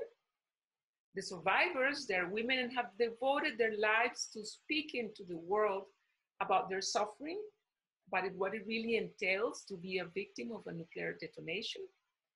Um, we have to think about the civil society leaders, the scientists, I want to, to commend um, Mary Olson and, and her magnificent work that actually, of course, was taken on board by the treaty as we acknowledge the, the disproportionate effect of, of um, radiation on, on women and girls, precisely. So thank you very much for that work that you have undertaken and you have devoted your life to this. Um, think about, and then the representative of governments that were women, like myself, that I had to lead the government uh, part of, of it. And between 20, 2015 and 2017, there were three global, major global agreements. Great successes in diplomatic history. The Paris Agreement, agreement that led, that addressed the issue of climate change. The 2030 develop, the adoption of the 2030 development agenda and the adoption of the treaty that prohibits nuclear weapons. Of the three negotiation processes, two, uh, in two, women pay, uh, played a pivotal role. Climate change, actually my countrywoman, Cristiana Figueres, being secretary of the UNFCCC, the United Nations uh, Convention um, on Climate Change, uh, she was the secretary of uh, in, in, the leading force in that agreement. And in the case of the abolition of nuclear weapons, we saw a conference in which the president was a woman, the leader of the civil society were women, um, the leader of the Hibakusha was a woman, and there were also many, the, the United Nations representative, um, the um, High Representative on Disarmament Affairs is a woman. There were women scientists and women also engaged in negotiating the very technical, the most technical parts of the, of the agreement. So this is the role that we have been playing in this, in this process. Thank you for explaining all of that and sharing how women have really come forward to create this change in the world as a model at this time when it's so necessary. Um, I want to move to the next question and just say, what is the status of the treaty? Many of the women on the call don't know, you know, what that, that it prohibits nuclear. What is the status right now? And um, I know it's very close to coming into force. what do you think that's going to mean when it comes into force? And what impact do you think that's going to have on the nuclear armed states who have not, none of whom have either signed or ratified the treaty? What do you think, what kind of difference do you think it's going to make? Mhm. Thank you. Thank you for that question. Um, actually, I think it was adopted by 122, the, the big majority of the international community. But I have to say that that is not something new because the most of the world live in states that have already um, prohibited nuclear weapons. Um, but I have to say that actually, for some, the global pandemic was going to be perhaps a, a challenge in this in, in, in, in taking the attention of leaders to sign the treaty. But you know what has happened? Completely the opposite. Uh, we have gained momentum, and now we have 45 signatures. Um, I'm sorry, 45 ratifications out of the 50 that we need. So we are only we're we already started the countdown. Uh, we only need five uh, more ratifications for entry into force. Um, and what this is going to mean, and, and, everybody should be aware that this is the, the first time in history that a major, major legal instrument like, like this is adopted uh, with the strong opposition of um, the, let's say, the power, of most powerful nations. And that is a sign of the times that we are living, of how uh, citizens and countries, humanity, I mean, we are healthier than, healthier than ever, more educated than ever, more connected than ever. The only thing that you can expect is that this is going to empower people to act at the global level to solve things that are important for humanity. So what this, this is going to mean, once it enters into force, this is when the real work starts for two reasons. It enters into force, and then so we have to start towards to, to work towards universalization. That means to have, we're going to have the first 50, we need to have a, at least the 122 that voted for it. And this is very important because this is where our strength is going to be needed. Because we have to be careful um, when we hear criticism about this effort. We have to, you have to understand that this effort was led by responsible citizens of the world and by responsible governments. We have nothing to do with nuclear weapons. We have forsaken nuclear weapons for decades already. And it took even the non-proliferation treaty that was proposed by the big guys back then, it took 20 years to have even the, the five uh, permanent um, uh, members of the Security Council on board the treaty. So it takes time. But let me tell you this, because this is history. History um, is made by every single step that we take every day. Let us think about uh, scourges like um, slavery, colonialism, um, even apartheid. What has happened? A norm or a legal instrument or prohibition of, of that human activity usually takes place at the peak of that activity.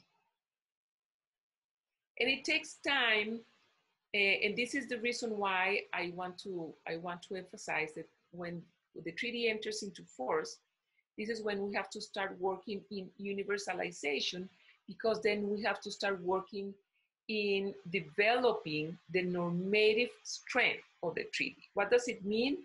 It means that it is true, we already know, know that norms do have an impact in the way that we humans behave and that states behave. Because as um, Homo sapiens that we are, we have the ability to share um, abstract concepts and being led and, and being um, and being able to share uh, and come together through these uh, abstract concepts like the concept of God or the concept of good. And imagine how many treaties and how many decisions and policies needed to be undertaken for slavery to finish. It took centuries. I believe it is not going to take centuries uh, to have a nuclear weapon free, uh, free world. Um, but it takes time, especially when you are dealing with the issue you are dealing with is strictly connected to the power structure of the, of the, of the world at the moment, such was slavery at the moment. Was connected to the power and economic power structure and um, security structure of the world. So we need to start working and uh, in the normative strength of the treaty. And it is going to be for the first time that in international law, this is, this is something that really is really outstanding. Um, countries not only reject, we consider them illegal and not legitimate, not legitimate instruments of security for the 21st century. And that the, any use of such weapons would be abhorrent to the principles of humanity and the dictates of, of um, human conscience.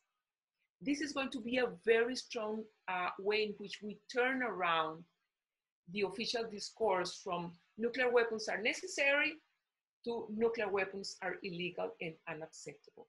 And that is going to have an impact in, in policy making.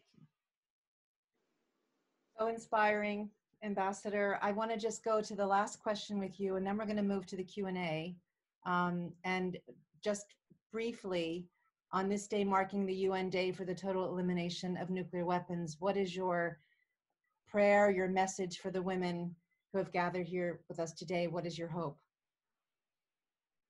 Um, everything we do in life is an exercise of hope. Everything we do in life is an exercise of hope. So every single person needs to be aware. We need, a, of course, citizen uh, diplomacy, but we need women and citizens around the world to talk to their leaders, to send an email, to talk to their uh, neighbors, to their friends. We need to be aware this is real, this is a real risk. So, my hope is that we are going to start by the action of very committed citizens that are aware of what exactly this means for humanity, that we are going to start a continuing, continuing that is going to lead us to the elimination of weapons of mass destruction as a way of security for the 21st century and beyond. May it be so. Thank you. So, thank you very much.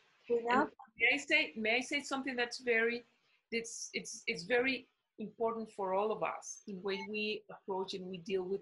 Words are important, very important.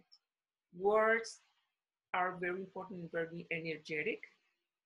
Um, and I have found that whenever I talk to citizens from nuclear weapon states, the concept that we have in our minds is non-proliferation. Non-proliferation means it's so successful that most of the nations in the world have already committed to that. We don't have nuclear weapons, we don't aspire to have them. We don't believe in them. But non-proliferation means you stop the others from having them, but we still own them. And this is what we have to change. Non-proliferation, we have to move to nuclear disarmament, to abolition, and to prohibition.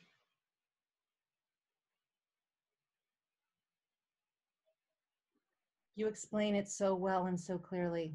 Thank you for that. Really, really important. I want to move now to the Q&A. Um, we're going to start first for questions for Ambassador Whyte.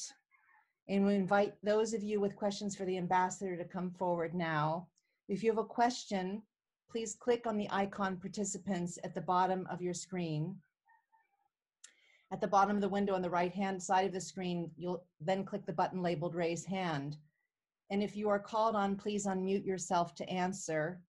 Please try to keep your questions brief so that more people can participate. And I also want to say that we're going to end the session um, when it's supposed to close at, at uh, it's in my time, it's going to be 10 a.m. and I'll just briefly interrupt the Q&A to end the session. Some of the met registrants have asked if the Q&A and, and the discussion continue after the session ends and a number of mentors will be available along with me past uh, the time of closing for about a half an hour for people who want to stay to ask more questions. But we're going to start now with questions for the for Ambassador Whyte. So please bring your questions forward.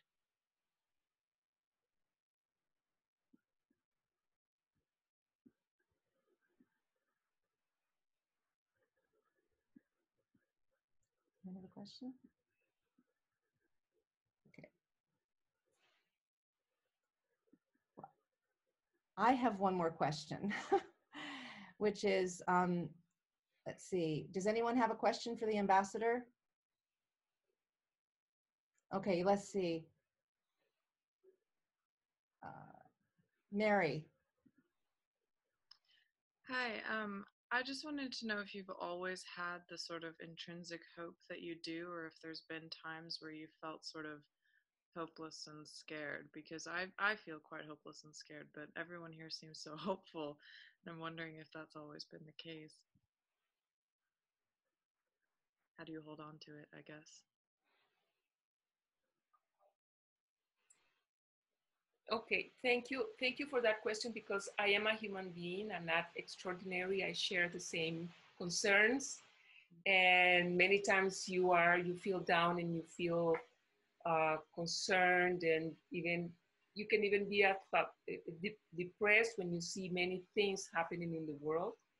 And this is when you see that, you know, when people were fighting against slavery, they continue to, to, to fight there is no other way than continue your road because whatever you do today is going to build up with other with other, steps.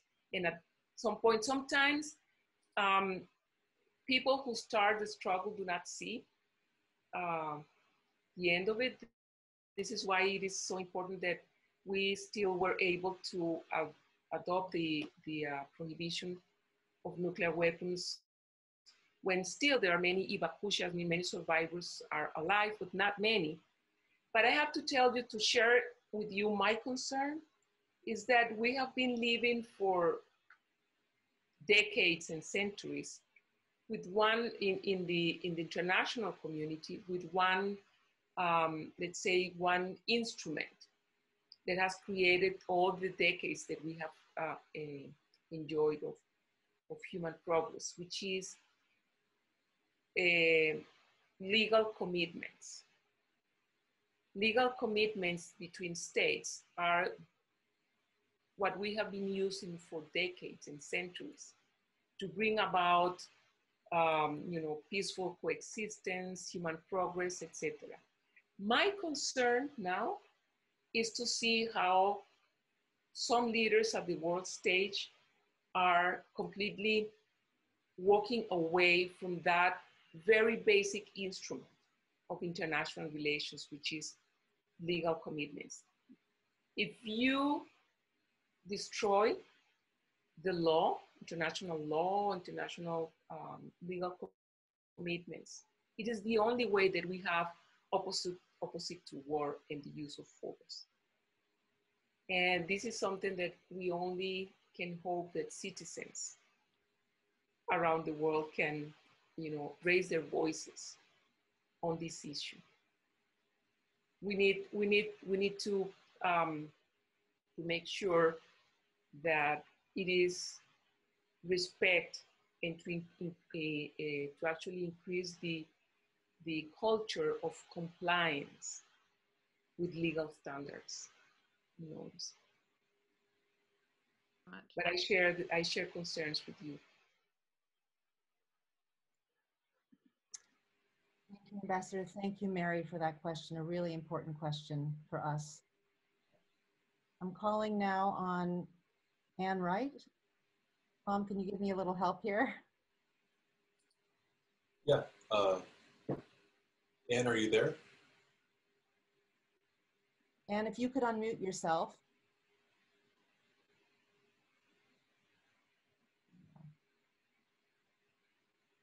Can you uh, help Anne, Tom?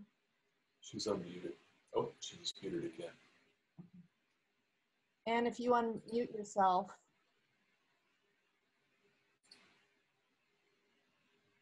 She's unmuted. Okay. And we welcome you to ask a question. So glad to see you here.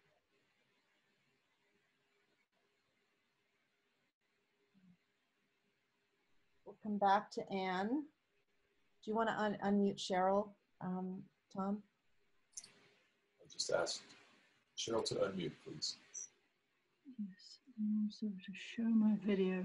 Okay, uh, this has been um, an excellent webinar. I've been to so many in the last six months, being sheltering in place. And uh, I would like to ask the ambassador, I am aware that Costa Rica is one of the few countries in the world that does not have a standing army. And I'd like to understand how much um, support did she receive from her own government as she worked on the treaty negotiations back in 2017. Was it important uh, to your work with the UN that you had the support of your own government? How much um, extra, imp, you know, extra impact were you able to have because of that, or, or were you on all by yourself? Thank you. I think that is a completely strategic um, question because I I don't see myself um, having done that work if I were not from Costa Rica because I knew that I had absolutely complete support from my government and from my society. And it is fundamental because of uh, the issue that we're dealing with and the political pressures that might that might come uh, in the way and uh, all the consultations that we undertook before I before I officially took the the role all of them were go for it and I felt felt completely absolutely supported by my government throughout the negotiations that gave me strength, complete strength. I had no doubt whatsoever, not the minimum, that I was not completely embraced and supported by my government and my country. Absolutely, absolutely. Thank you, thank you very much because I think that is a fundamental question. My, the strength of my of my government was was uh, fundamental. So important, Ambassador. Thank you. I have we have a question from Anne Wright, which has gone into the chat, which is for you, which is were all the nuclear states as difficult as the U.S. for the treaty negotiations? I know you're a diplomat, so. um, no, let's say that um, I, uh, you know, we had talks with all with all countries of the world, all of them, even the nuclear states. I I had conversations with everybody, and um, most most of them were um, were easier to put it that way. Were easier. Thank you, Ambassador. Um, Estelle Marsh, would you like to unmute yourself and ask your question? I'm calling on you. Hi, thank you so much for everything so far. Um, I just wanted to ask, um, I feel that as a youth personally, uh, beyond reading about things, I haven't taken any direct action towards um, like contributing to nuclear disarmament. And I was wondering if you had any advice or tips or action points that young people could take to have the most impact in um, trying to help towards nuclear disarmament. Thank you. Thank you very much for your interest and, and your conviction. Talk to your friends. Start doing that. Talk to your friends so that uh, you start convening to them uh, the importance of this issue for your generation, for all humanity, but for your generation, and try to to talk to them and in terms of even in, in, in, in very practical terms. Um, let's say, for instance, every single minute, $140,000 are spent on nuclear weapons. Let's say 200, uh, $200 million every single day. 200 million, can imagine what we can do with 200 million dollars. Well, every day, $200 million are spent on nuclear weapons. And this is absolutely important. And something that I, that I uh, would suggest to all women, you don't have to become experts. We have heard wonderful experts here today, but you just have to be uh, citizens that are aware and that manage just basic figures. Um, how many, how many, 15, 13,000 warheads. How many of them are in state of alert? More than we need. Around 3,000 of them might be in state of alert. That means in 10 minutes, even less than what uh, Cynthia was telling us at the beginning, would be detonated. So talk to your friends. And if you want to go ahead and you can write an email to your representative and go for it. Thank you. Thank you, Ambassador Whyte. I want to bring the session to a close and then we'll continue the Q&A for those who can stay beyond us. Um, I want to thank, give you a really special thanks again, Ambassador, for joining us on a day that I know is really busy in your life at the UN because it is the day for the total elimination of nuclear weapons. It was such a gift for you to be here with us sharing your wisdom and your stories. And um, I so just deep bows of gratitude to you for all that you have done for this and for all you're going to do and all you're doing. So thank you so much for being here. I also now want to thank all of the mentors for coming um, and sharing your incredible work and wisdom with us. Tom Dawson, who's been doing a great job um, with the tech management of the Zoom session, and Colleen Moore, the amazing Colleen Moore from Global Zero and Beyond the Bomb, for all your incredible live sharing on social media, posting through the event, sharing this with the world. Thank you so much. And finally, I'm going to thank all of you amazing, wonderful women from all over the world for being here with us, for having the courage to show up, to claim your seat at the table and take this on. Let's just decide right here and now, on the day that the UN has marked for the total elimination of nuclear weapons, that we're going to make this happen. We're going to get this done. We're going to eliminate nuclear weapons. We need all of you. We'll be sending you an email following this, again, with collaboration opportunities with all the mentors. And our next session is going to be on October 24th.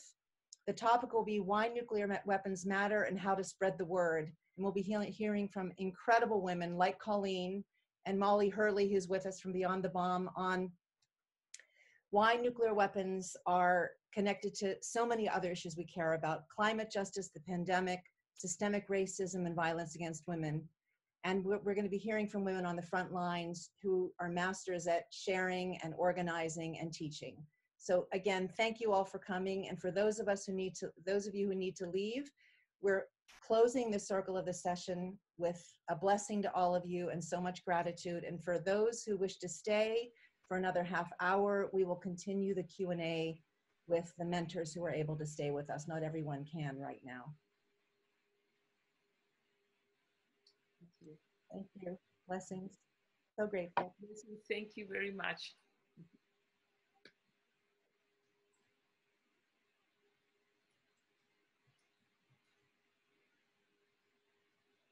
Okay, so let's start with which mentors are still here with me so that we people know who they can direct questions to. I know Mary had to go. Jessica, are you still here? Yes. Great. Jessica and Kehkashan, are you still here? I'm here. Okay, and and Natalia. Yes, I'm here. Okay, and I know Marzhan and Mary had to go, and obviously the ambassadors. So please, we have another half hour for those of you who wish to stay longer to engage in a conversation. This can be more of a- an informal dialogue if you wish, but we wanted to make ourselves available to you. So please direct your, anyone who has a question. Let's see. Kayla, um, I'm calling on you to lower your hand. It's so good to see you here. I'm so happy that you're with us. Um, okay, one second here. There we go. Um, okay, um, it's so, so, so wonderful to be here. I'm, because of our generation, I was part of the big peace march in the 1980s.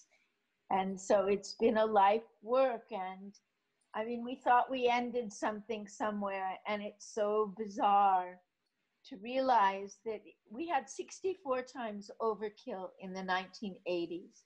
That means we could destroy the planet 64 times over. And now to realize it's worse when we have no threat, it's like we don't even know who the enemy is, you know, and it's so bizarre the psyche of it. And the US, we know, is the, the worst of it. And so, how to change the psyche, you know, the deep, deep psyche in America is in this incredible throes, the cauldron of our what do we do with violence and how do we really deal with life as the choice instead of destruction. So I bow to all of you. I deeply, I'm so grateful for your, for all of your work. And I wanted to address uh, my question or my thought or my whatever it is to Kate, Kate, Keikiko? I'm not saying it right. Keikisha. Keikisha. Keikisha. I was so inspired because the youth, it's the future. And so I'm just, if you could, um, you know, this, this balance between the sustainability goals and peace and life.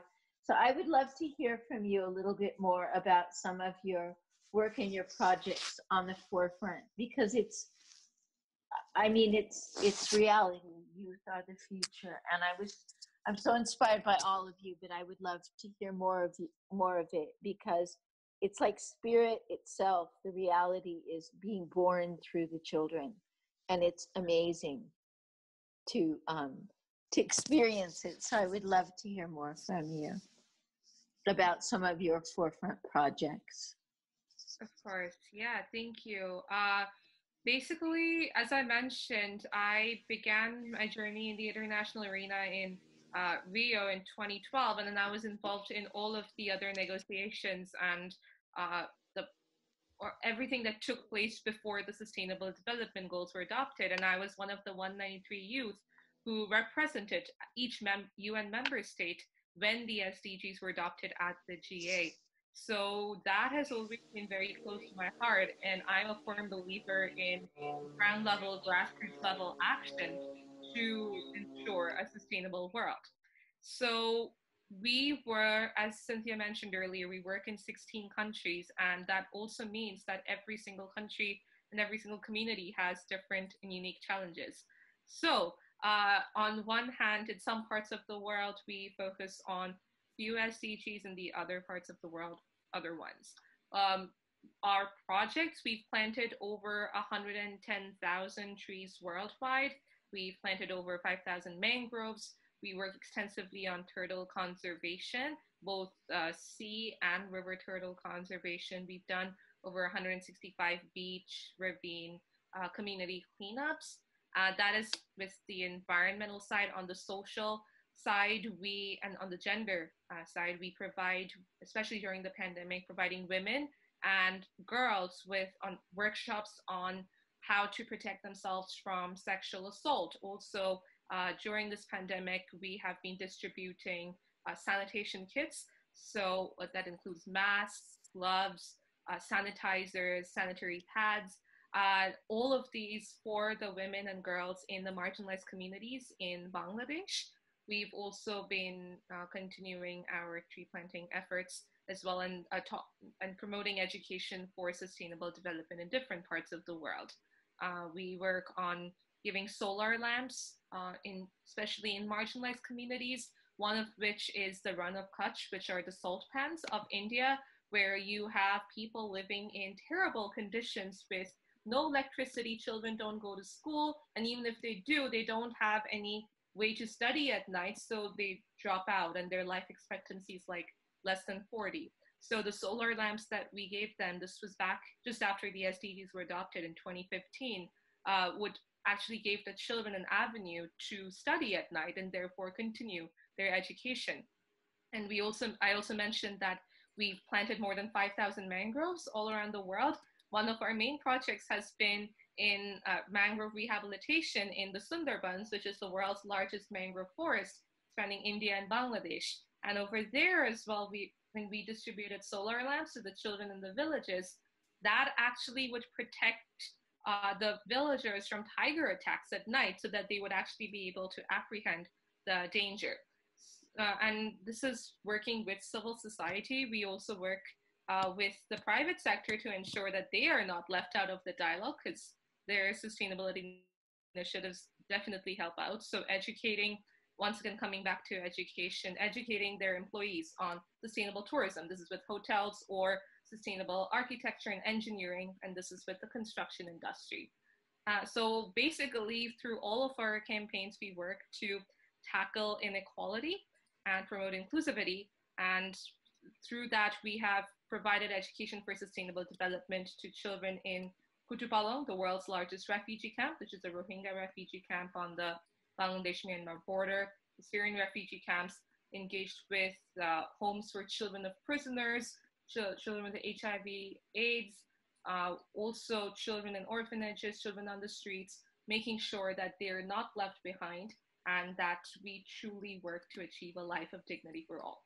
So, in short, that is what we do, and that is our way of trying to achieve a peaceful and sustainable world. Thank you so much. It's awesome to hear. It gives us hope for the world, for the future. Thank you, thank you, thank you. Thank you so much. Thank you. Kehkashan, you bring hope to everyone. Every session I've been in, you know, at this time, you know, Mary Carol was talking about the despair, and you bring so much hope um, for the future. So I echo what what Kayla just said. Uh, thank thank you, Kayla, for that beautiful question. I am of your generation and was back then doing the marches too, so I know what it feels like. So thank you so much for bringing that forward in this session and for doing and caring for all these years with all the changes. Thank you so much. Any other questions at this point? We've got, um, again, Natalia, Jessica, Kehkashan still with us. Would anyone else like to ask a question or does anyone have something they'd like to share?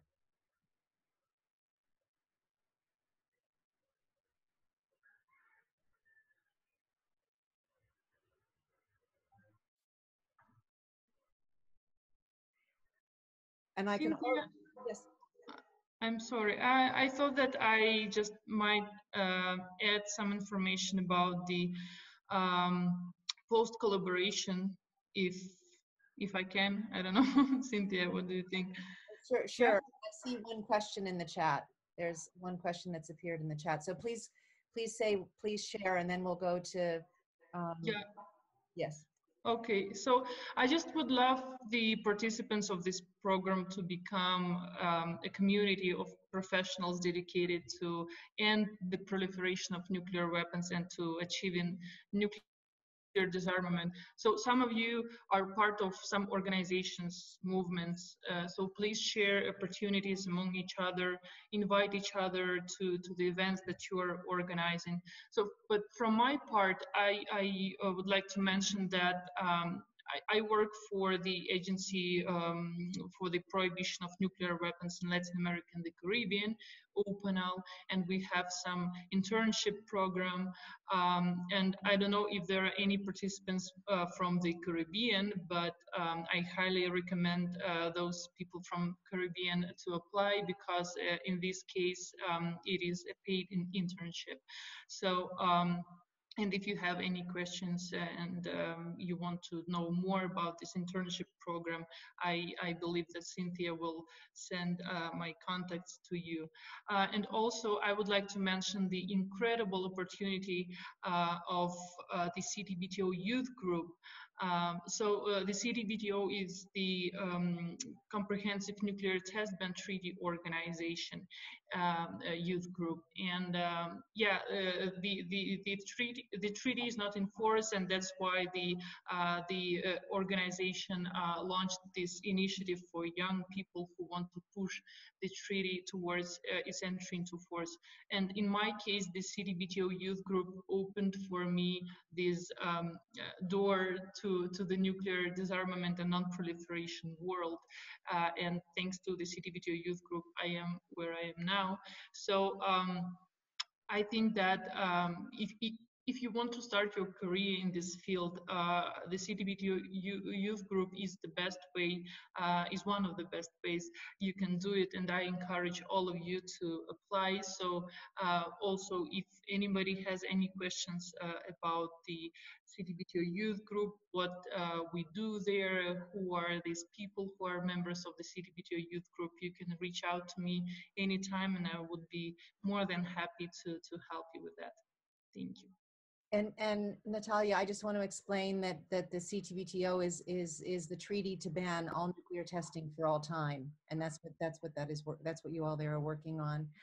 We have a question, a request from Selassie Flower. Do you still have a question? I see that you put your note in the chat. Um, would you like to unmute yourself? Yeah, I, I don't know if you can hear me. Yes, we can. We can. Welcome. Thank you.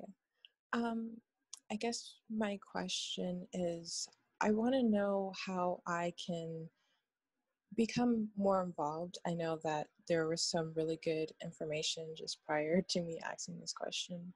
But I guess for me, um, specifically, uh, now that everyone's kind of online, how can we still make just as much of an impact when we're kind of online and we're maybe not able to kind of go to um, community spaces and like plant trees together without like wearing a mask and stuff. Like, I don't know, like how we can still make an impact even online. Because I know sometimes with a whole lot of other stuff going on, on the internet, people sometimes don't care, which is unfortunate. So I guess like how can like I can get more involved and um, as well as trying to you know learn more information about you know these topics about you know banning nuclear weapons and how you know make sure that like the world doesn't just go up in flames you know because you know different countries are you know at war with each other and like how like i can make a big impact on you know that front as well being that i'm a college student and i go to school online now. So yeah i guess that that was my question Um, Jessica, do you want to start and then Kehkashan, maybe you follow? And this this will actually take care of questions that we didn't have a chance to answer during the session because there was so much to share. So if you could start, maybe Jessica, and then Kehkashan, if you could follow, I'd really appreciate because you both have incredible opportunities that are going to be posted on our website to connect with you all. Um, so, but Jessica, please start. Sure. Yeah. Um, so I'm not sure if you're you're located in the U.S., but um, in the U.S., Beyond the Bomb, which I mentioned, is doing a lot of great organizing work, even online. Um, there's still a lot of work that you can do. There's um, meetings with your members of Congress and representatives. There's reaching out online to other um, people in your community. There are um, things you can write and publish that connect. Thank you, Colleen. Colleen put the Beyond the Bomb link in the chat. Um, but there's things you can write that connect all of these issues um, um, and really bring about intersectionality in all of this work around organizing around race, racial justice, social justice, um, climate change. All of these things are so interconnected, as people have been talking about.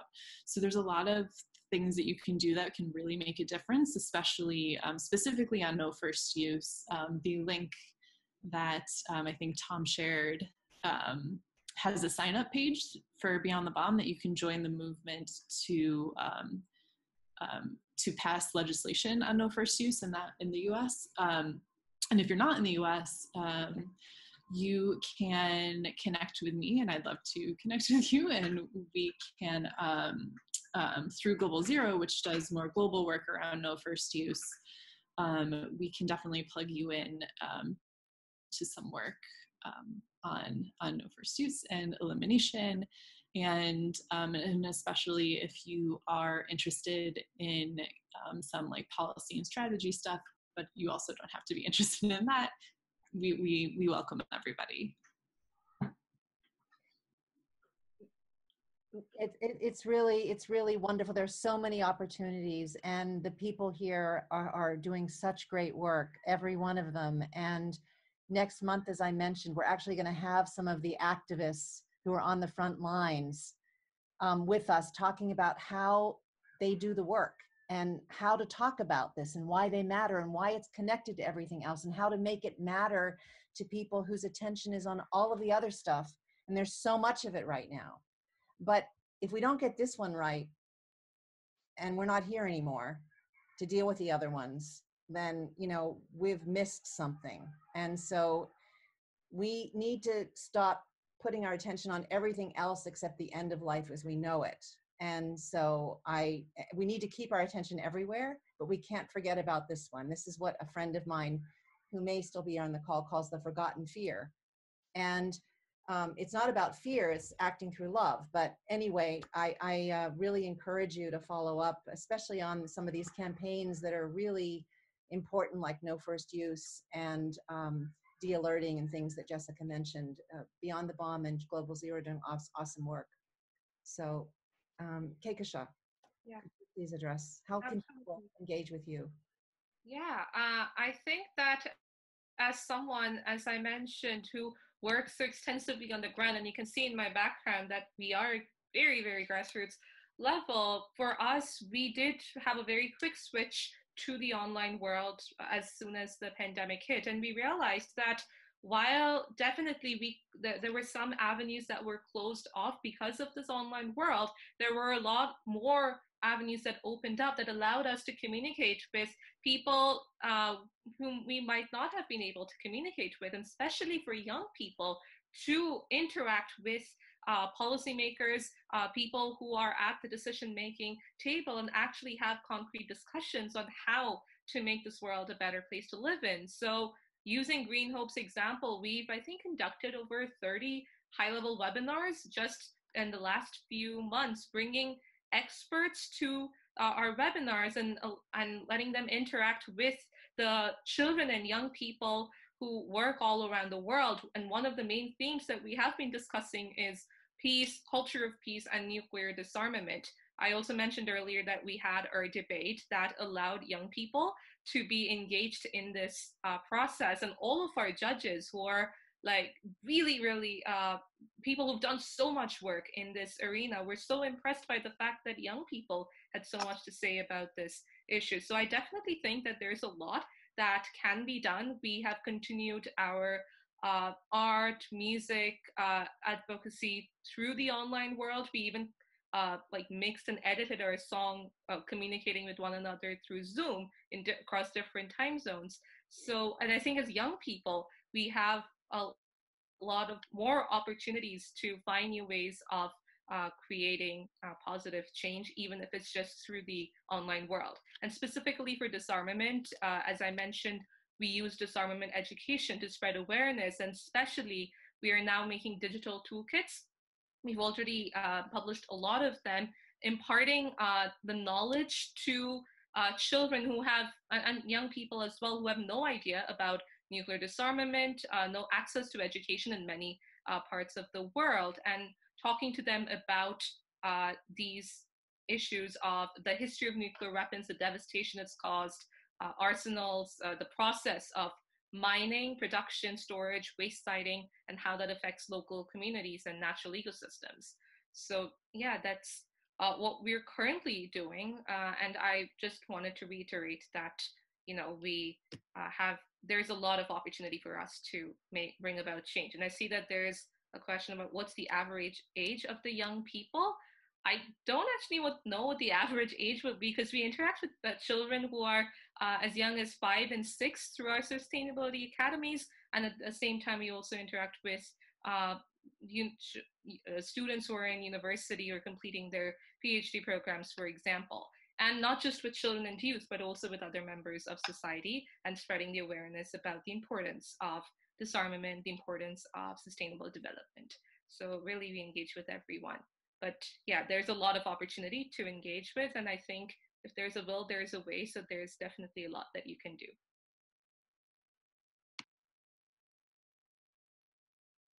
Cynthia, you're muted.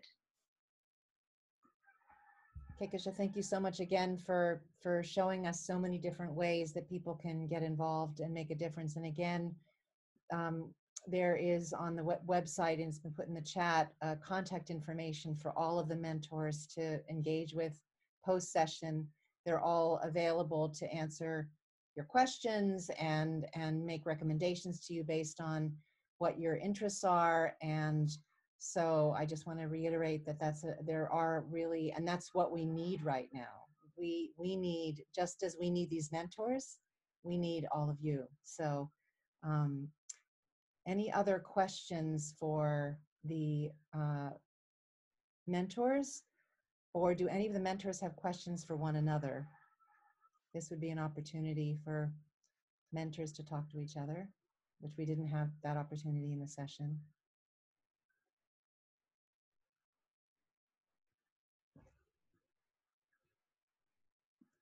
Am I missing any hands?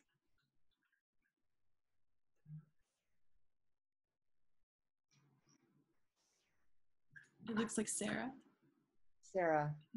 Okay, Sarah. Sarah, please unmute yourself. We'd love to hear from you. Okay. Hi. Hi, Sarah. Welcome.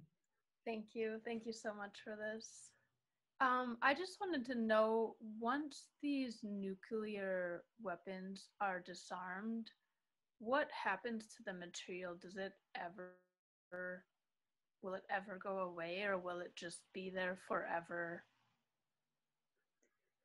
That's a really, all the questions are great, and that's a really important question. And Jessica, I'm going to uh, address that question to you because you're such, you're the nuclear expert here. Um, I'm unfortunately not a nuclear waste expert, but um, in terms of, um, of nuclear weapons, um, there are some cases where some of the material, the fissile material in nuclear weapons can be used um, to power like nuclear reactors, which I know some people are aren't fond of nuclear power either. Um, but there have been um, programs, there's one megatons to megawatts, which took um, nuclear fuel and like um, basically like brought it down to a place where it wasn't a um, weapons fissile material anymore and it was able to be used um, for energy. Um, where we get into some trouble is on the um, plutonium side. Um, and there are people who are working on ways to, to deal with this waste in a way that won't harm the environment.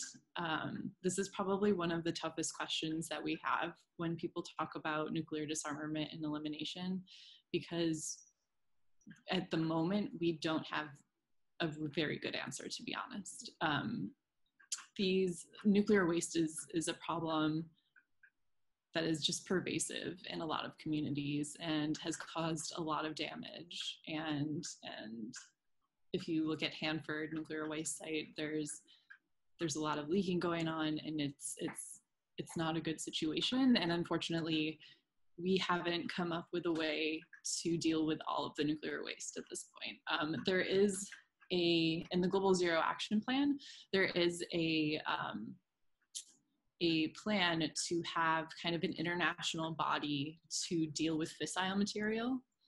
Um, and that part of it is to check to make sure that nobody is is um, making weapons grade fissile material. That's part of a verification systems to make sure that everybody is at zero and doesn't go beyond and build nuclear weapons after.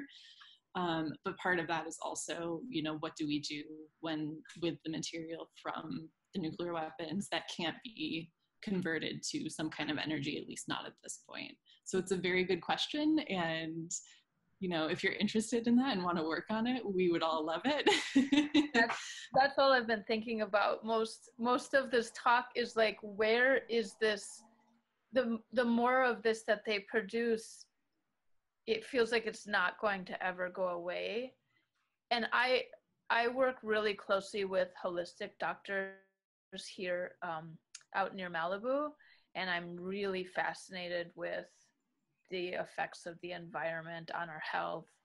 And I just found out recently that I have radiation in my lungs from eating tuna, which is a big reason why I joined this because I, you know, I can see it on a more massive scale why this is such a huge problem um, because it's affecting so many people's health in ways that they don't even realize, you know.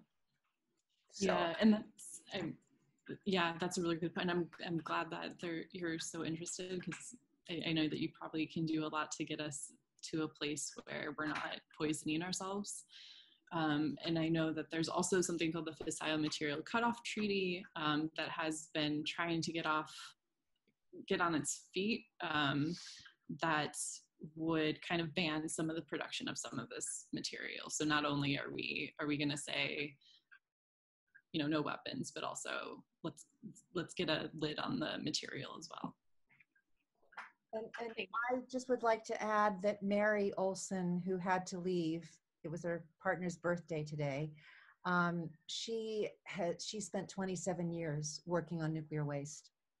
So she, you can follow up with her. Her information is on that link that we put in the chat. She'd love, she'd love to have you involved with her. She really wants to have young people joining her and taking up this research because there's so much more that needs to be done.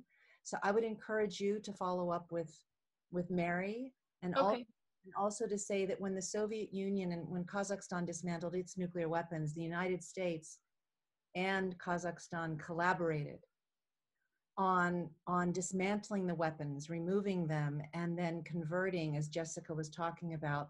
Um, but the issue of nuclear waste is going to be with us for not only generations. for, it feels like forever. It's it's it's it, it goes into geological time.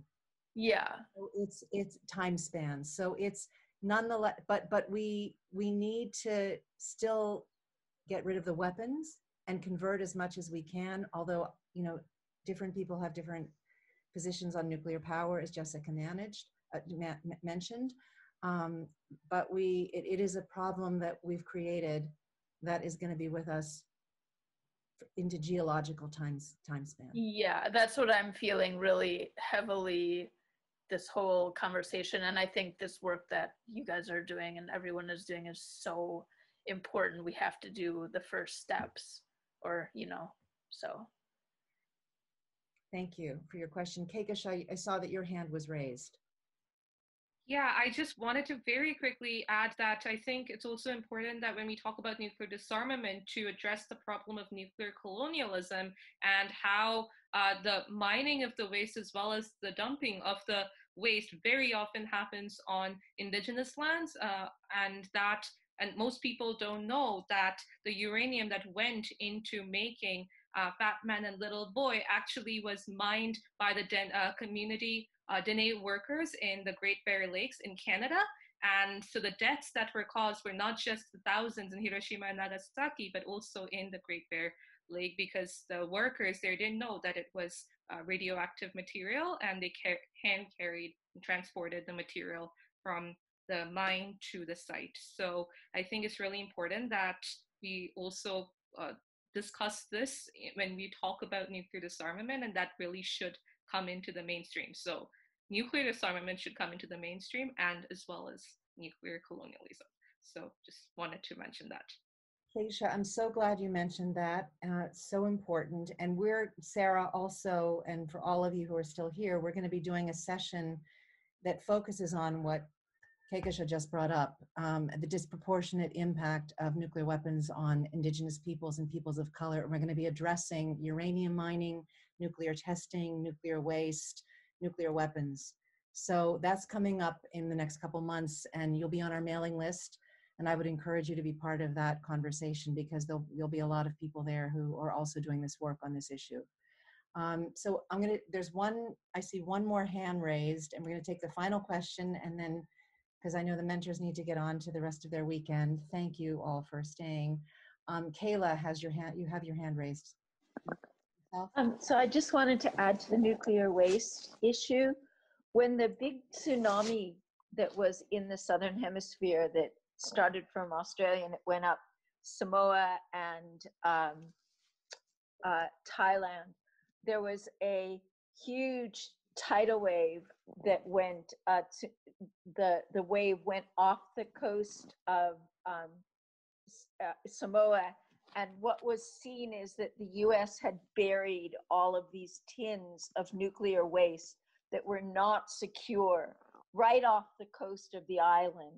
And when the wave went out, people saw those tins that were buried off the coast in the ocean that would have very soon opened up and completely polluted the world's oceans with nuclear waste. And they removed them and buried them elsewhere. What Kehkashan was talking about with the colonialism, the US wanted to bury a lot of the nuclear waste in Central Australia.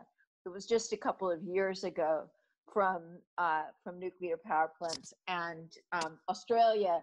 There was a, the government level and there was the populist level in Australia kicked it down the people because the government was going to accept it for the funds, but the people didn't want it buried in the middle of Australia. And so it's a really serious issue. But the thing is, from what I understand, we could dismantle it if just like solar power, if we put the money into um, into the technology to um, to break it down. We could do that. It's just like so many other things. And then there are crazy ideas like burying it on the far side of the moon that have come up. So it's a really big, it's a big issue, the nuclear waste and what it's doing a- across the earth still, because it's we still use nuclear power plants and we're still creating the waste and the the waste could be used to power the plants is the thing if we really got ecological.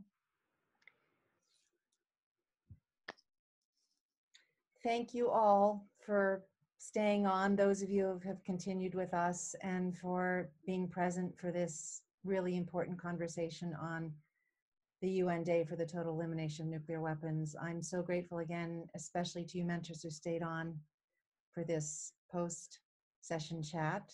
Thank you for sharing your wisdom. Natalia, are you still here? She's had to go. Um, yes, I'm here.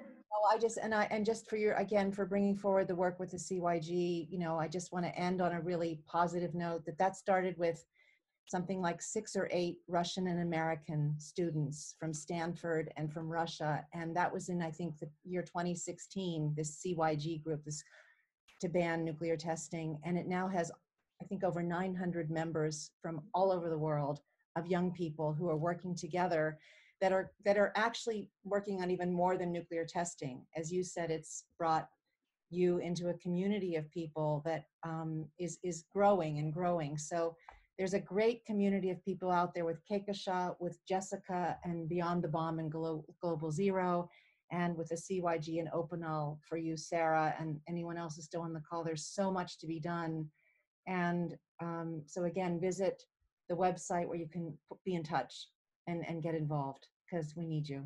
Thank you so much, all of you. Blessings to you on this day. Thank you for having the courage to be here. Aloha, as we say in Hawaii. Thank you so much, everyone. Thank you, everyone. Bye. Thank you so much. Thank you all so much. Thank you. Thank you.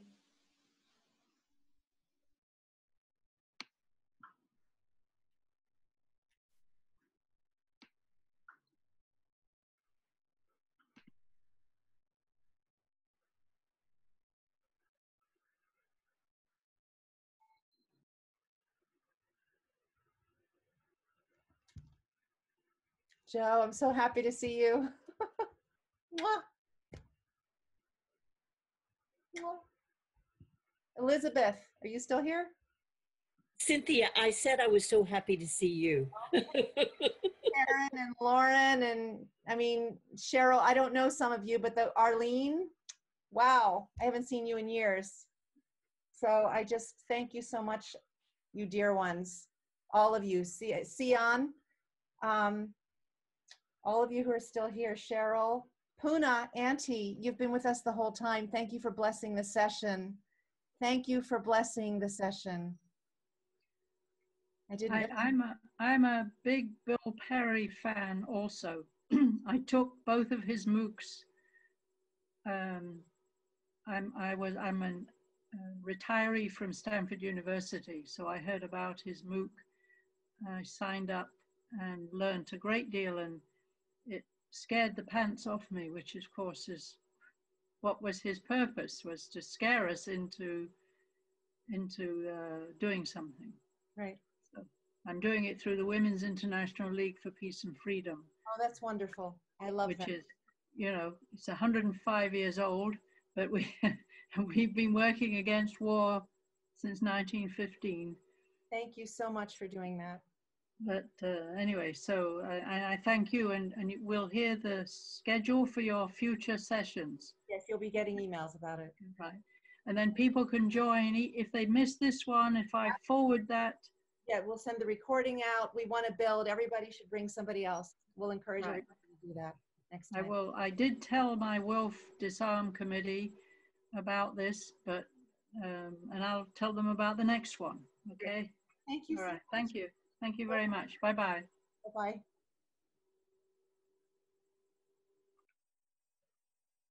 Bye, everyone. Thank you so much. Puna, thank you for being at my side again, for holding the space. Can't hear you. It's been so wonderful to witness the unfolding and the intention of all of these beautiful women. Thank you, Tom, for making this a reality. Um, it's been incredible. You know, when I think about what our ancestral beliefs remind us to look at the past, to appreciate all that the past has offered us, and you see the wisdom of the past coming through all these young people uh, the ability to have them connect instantly um, through this technology has been incredibly amazing witness.